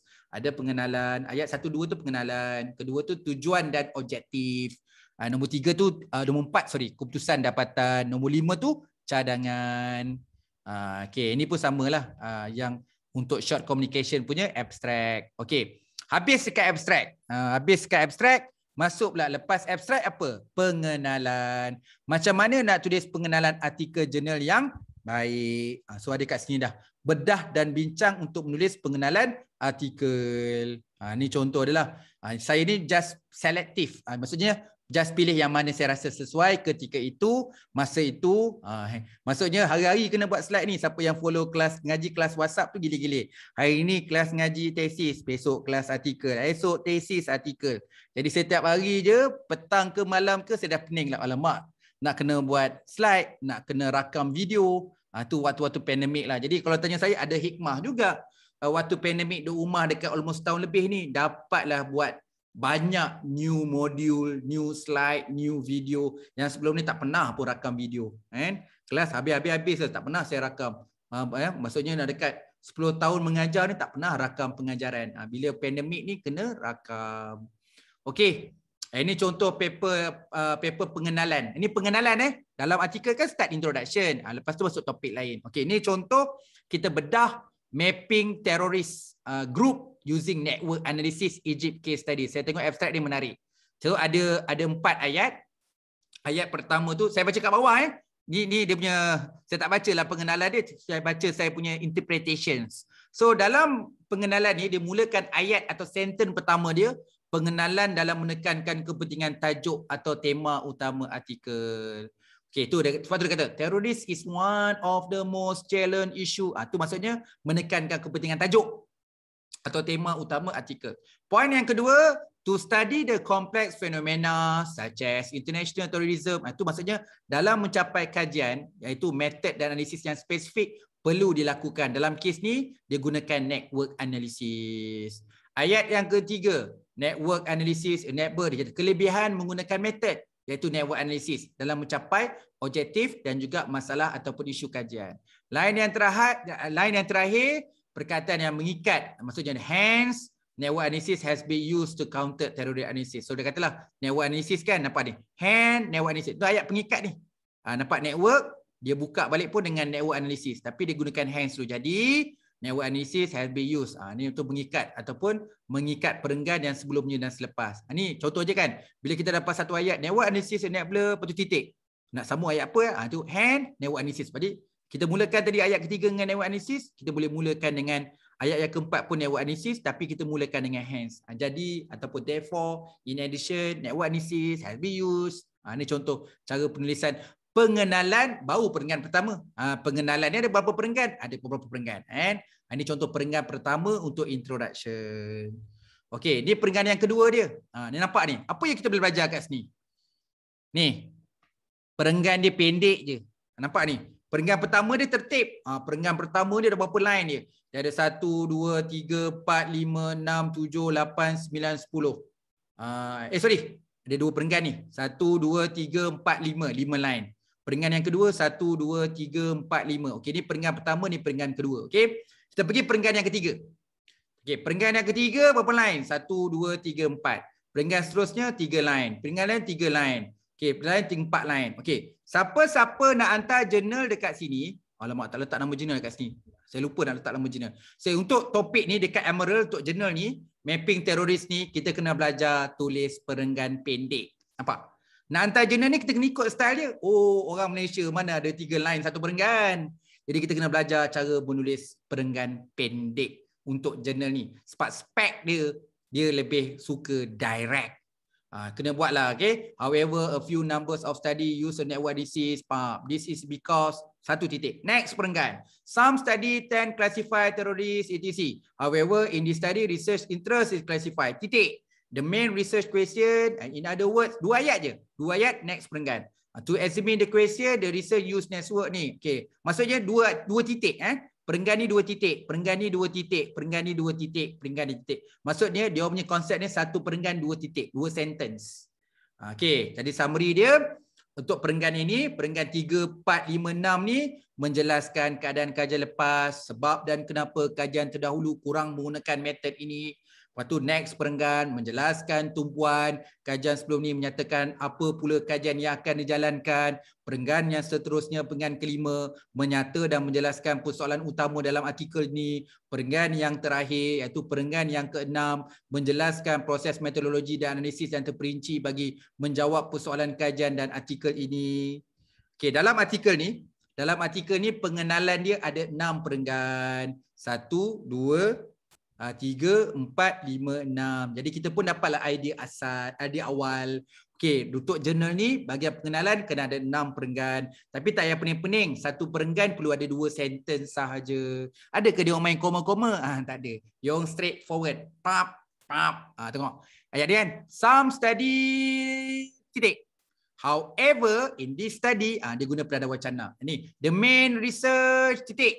In other words, can we? Ha, jadi dia menggunakan perdana wacana. Jadi untuk artikel ni banyak menggunakan conjunction words. Ha, kita kena belajarlah conjunction word. Ha, macam ni. However ha, however ni ni ni suka however ni. So however ni UK lah ni.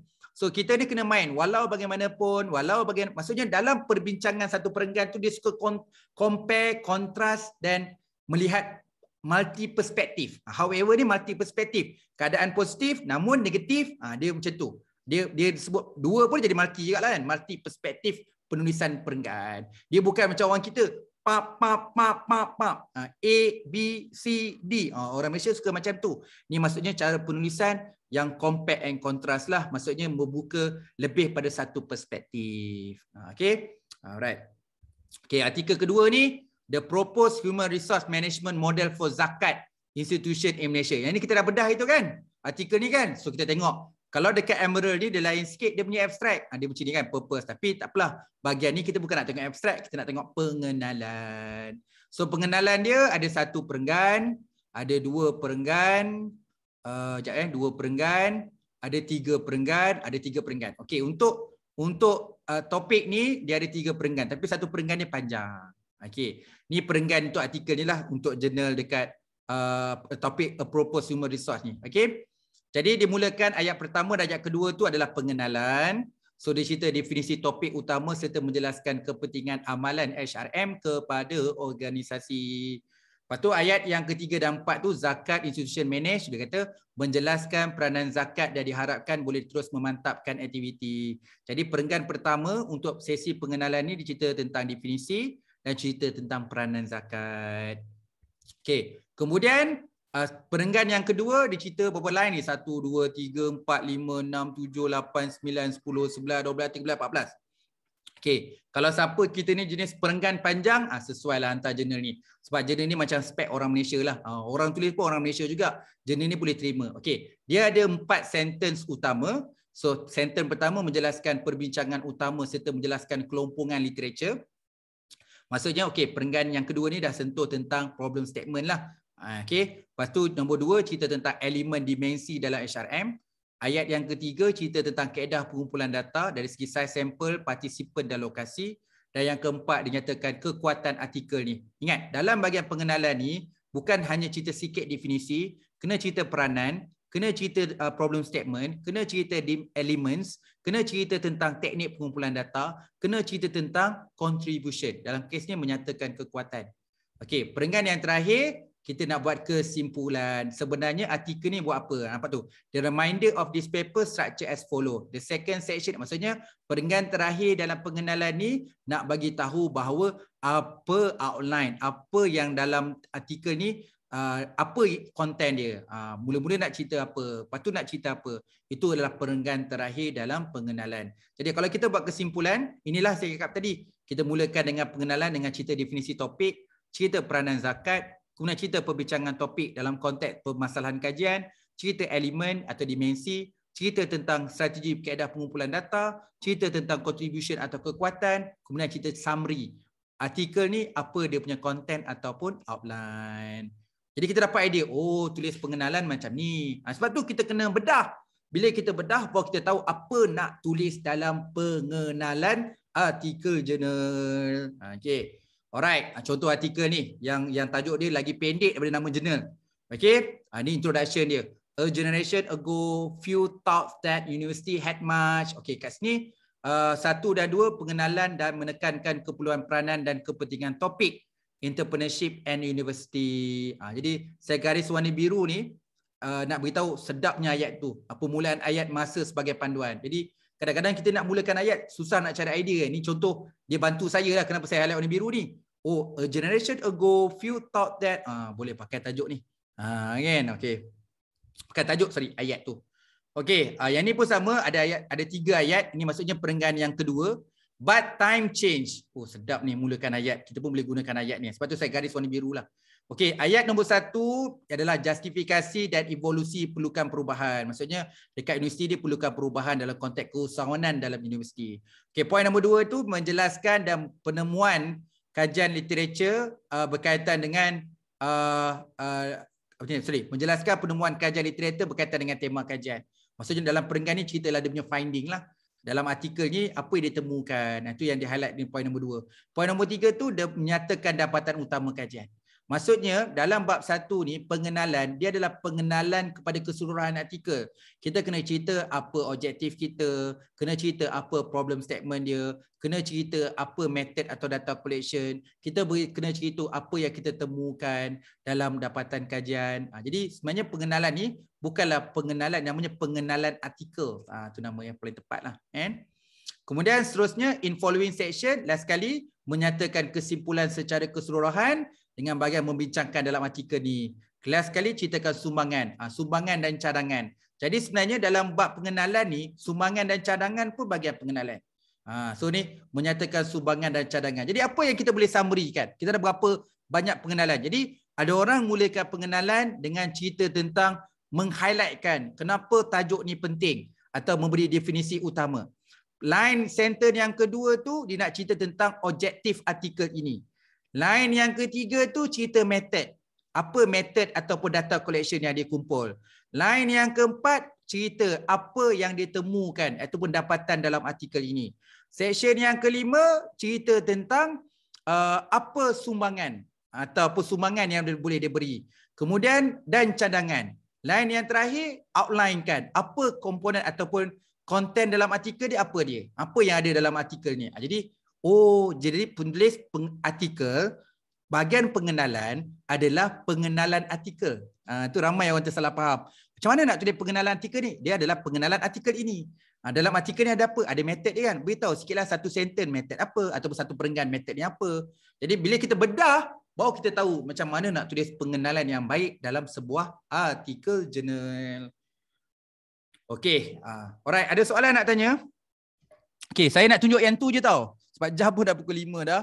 Jadi you nanti refer lah slide ni. Banyak lagi ni. Ni pengenalan. Pengenalan pun banyak. Ni tak habis lagi. Bawa pengenalan, cara tulis pengenalan. Dalam kita punya artikel jurnal. Banyak ni. Okay. Lepas tu bedah untuk pengenalan artikel perenggan pilihan. Masih lagi uh, bab pengenalan. Banyak contoh pengenalan ni. Sebab bila saya jadi suka explore. Jadi tunjukkan pengenalan. Okay. Pengenalan pun banyak slide. Ini baru pengenalan dalam artikel. Okey, uh, baru cerita tentang penenggan pilihan ringkas dan mudah. Uh, ini masih lagi pengenalan juga. Uh, ini pengenalan. Okey. Dah habis kat pengenalan. Uh, baru tulis kajian dekat literature artikel. Uh, lepas 1.0 pengenalan, uh, baru masuk slide tentang bagaimana tulis kajian literature artikel. Uh, ini tengoklah. Contoh. Uh, ini saya kata uh, abundance of research have been conducted in zakat wakaf. This literature review, however, focus on research most relevant the content of the paper. Ada yang tulis sependek macam ni je literature review. Adalah contoh-contoh literature review yang lain. Uh, nanti tengok macam mana lepas pengenalan literature review. So yang ni namanya bedah. Bedah artikel yang saya cover especially dalam kelas uh, mengaji group WhatsApp level 2. Uh, ni namanya level 2 lah.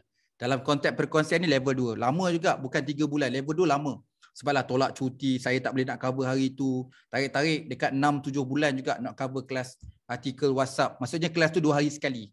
Ha, setengah jam je video setengah jam bagi contoh artikel. Eh, tu sorry contoh slide. Ha, itu dah tak buat dah sebab komitmen masa lah. Yang tu memang dua kat rumah. Saya pun tak tahulah bila lagi nak buat kelas artikel level 3 ni. Ha, kan dia bukan hadam. Ha, Nur Amalia, dia bukan hadam tau. Kalau you tanya saya, kenapa saya buat benda ni? Saya nak bantu you all.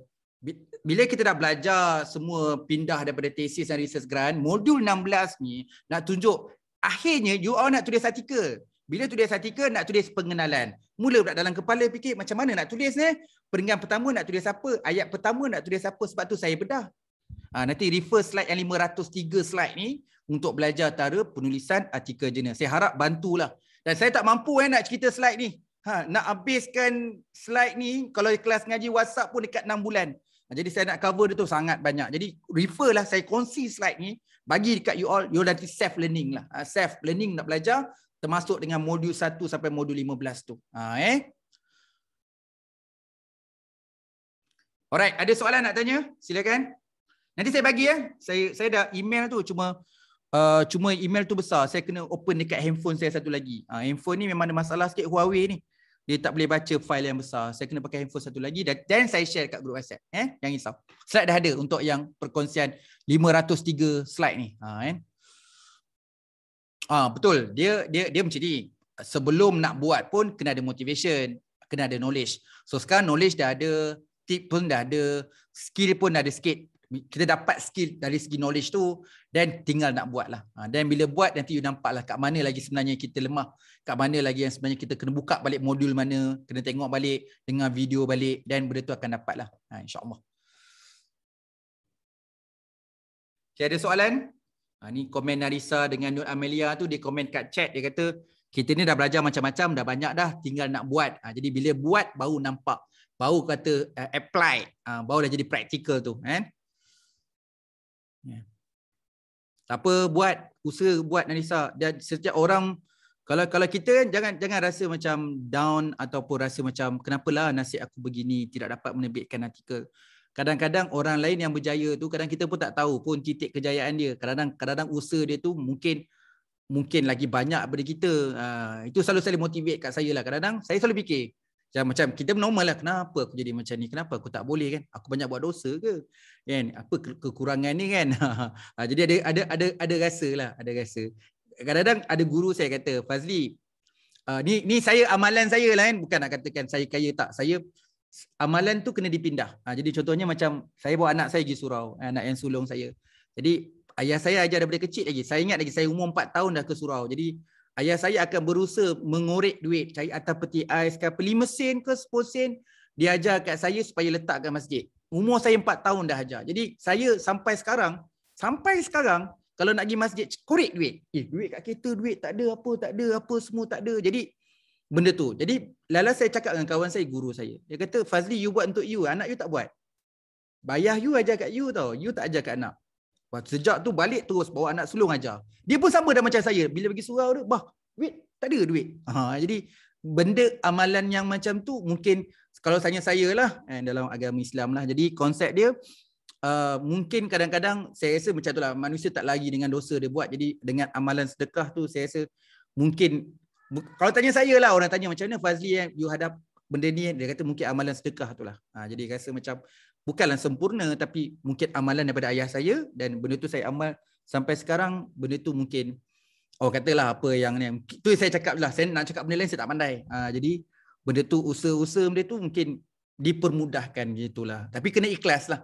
Ha, kena ikhlas tu kena ada lah ikhlas tu bila buat rutin jadi ikhlas lah. Jadi dah biasa. Kan. sikit banyak saya tak pernah measure. Sebab saya ingat mana yang ada lah. Ada lebih-lebih Ha, jadi konsep dia konsisten. Bila kita konsisten, ha, kita akan banyak benda kita akan konsisten lah. Ha, itu saya belajar. Buat satu aktiviti yang konsisten, kita akan boleh buat kerja lain dengan konsisten. Ha, jadi okay, dengan disebabkan aku sedekah sikit tu hari-hari, lagi sekarang ni boleh konsisten tulis perenggan sehari-hari. Ha, jadi kita melatih diri untuk membuat satu perkara secara konsisten.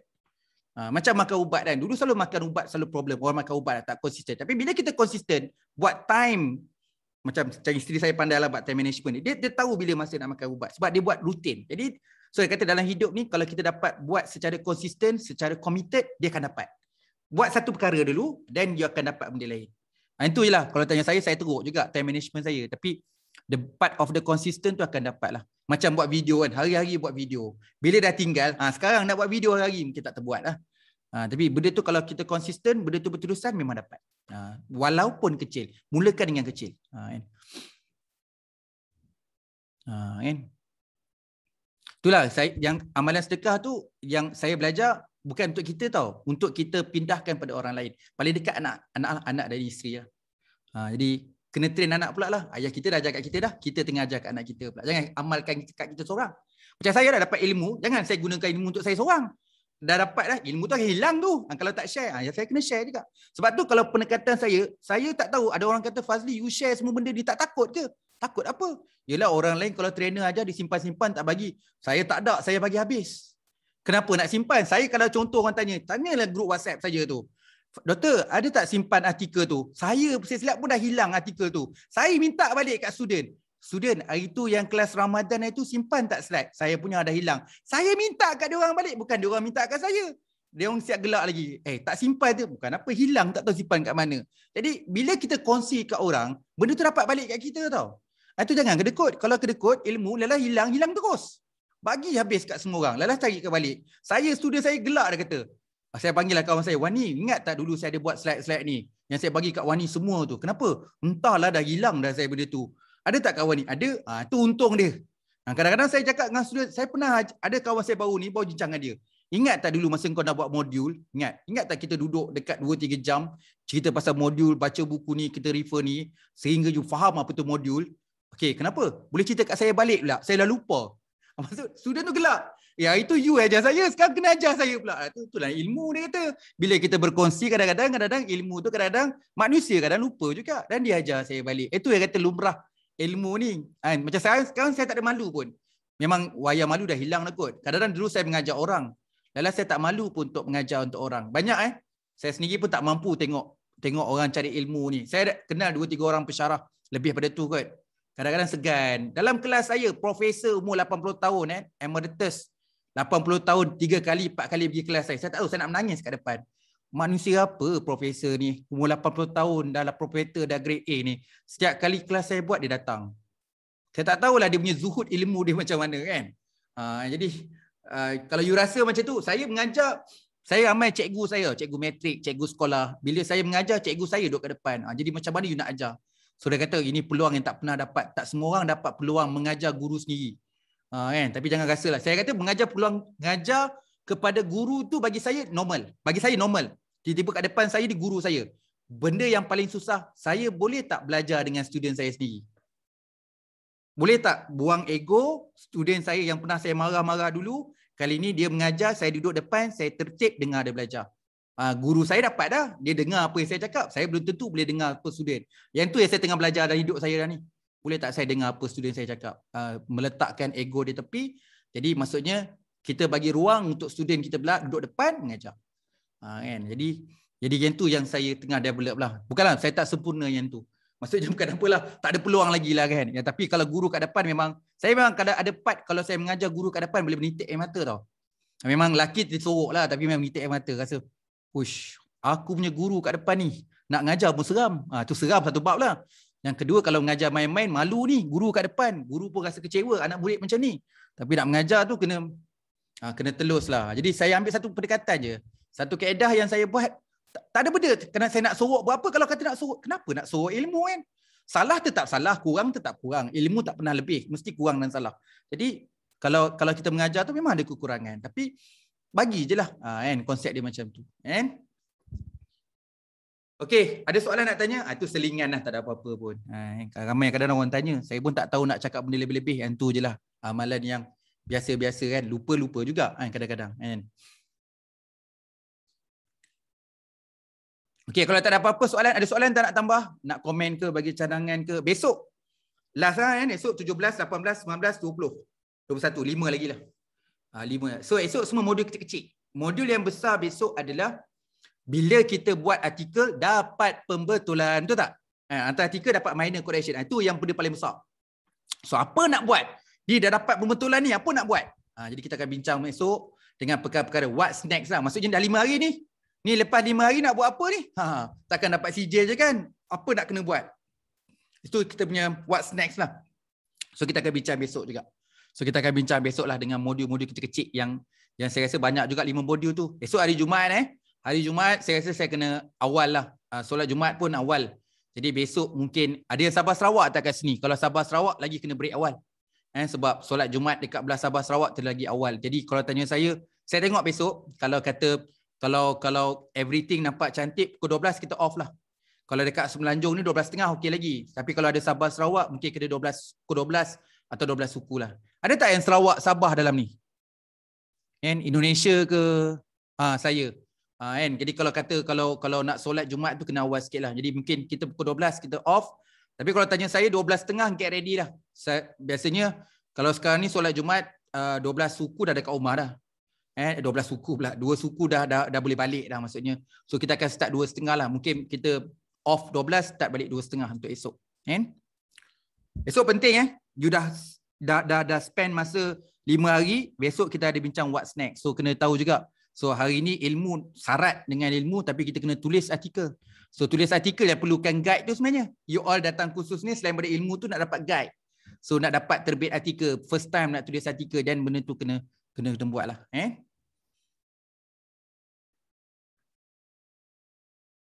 Okay, ada soalan sebelum kita akhiri uh, kita punya modul. Minta maaf eh, modul 16 tak boleh nak cover habis. Ha, nanti lagi saya bagi. Lepas ni saya terus bagi. Eh? Okay, kalau tak ada apa-apa saya ucapkan terima kasih. Minta maaf kekurangan uh, dalam menyampaikan ilmu ni. Kita banyak tadi cover kan. Sama berat dengan semalam. Semalam tip and tricks. Kan? Kita ada 120. Hari ni pun lebih kurang 120 juga contoh-contoh artikel uh, contoh-contoh kita convert daripada artikel sorry daripada tesis atau research grant menjadi artikel dan kemudian sikit guide kan bagaimana pemilihan ayat perkataan dalam penulisan perenggan tulis dalam section dalam artikel. Macam mana tulis abstract macam mana tulis pengenalan macam mana tulis literature. So ada dalam slide 505 tu. Ha okey boleh refer selepas ini insyaallah. Okey nanti saya akan buat summary video pagi dan video petang. Uh, nanti refer dekat kalau nak tengok link, refer kat group WhatsApp summary tu eh. Saya dah link dah. Hari pertama apa, hari kedua apa, hari ketiga nanti you refer lah slide tu. So ada yang tanya, uh, saya, saya rasa sebab link tu saya bagi kat YouTube. Jadi YouTube tu takkan hilang lah. Tapi Google Drive mungkin. Saya, saya tak tahulah. Kita pun tak boleh nak kawal benda ni kan.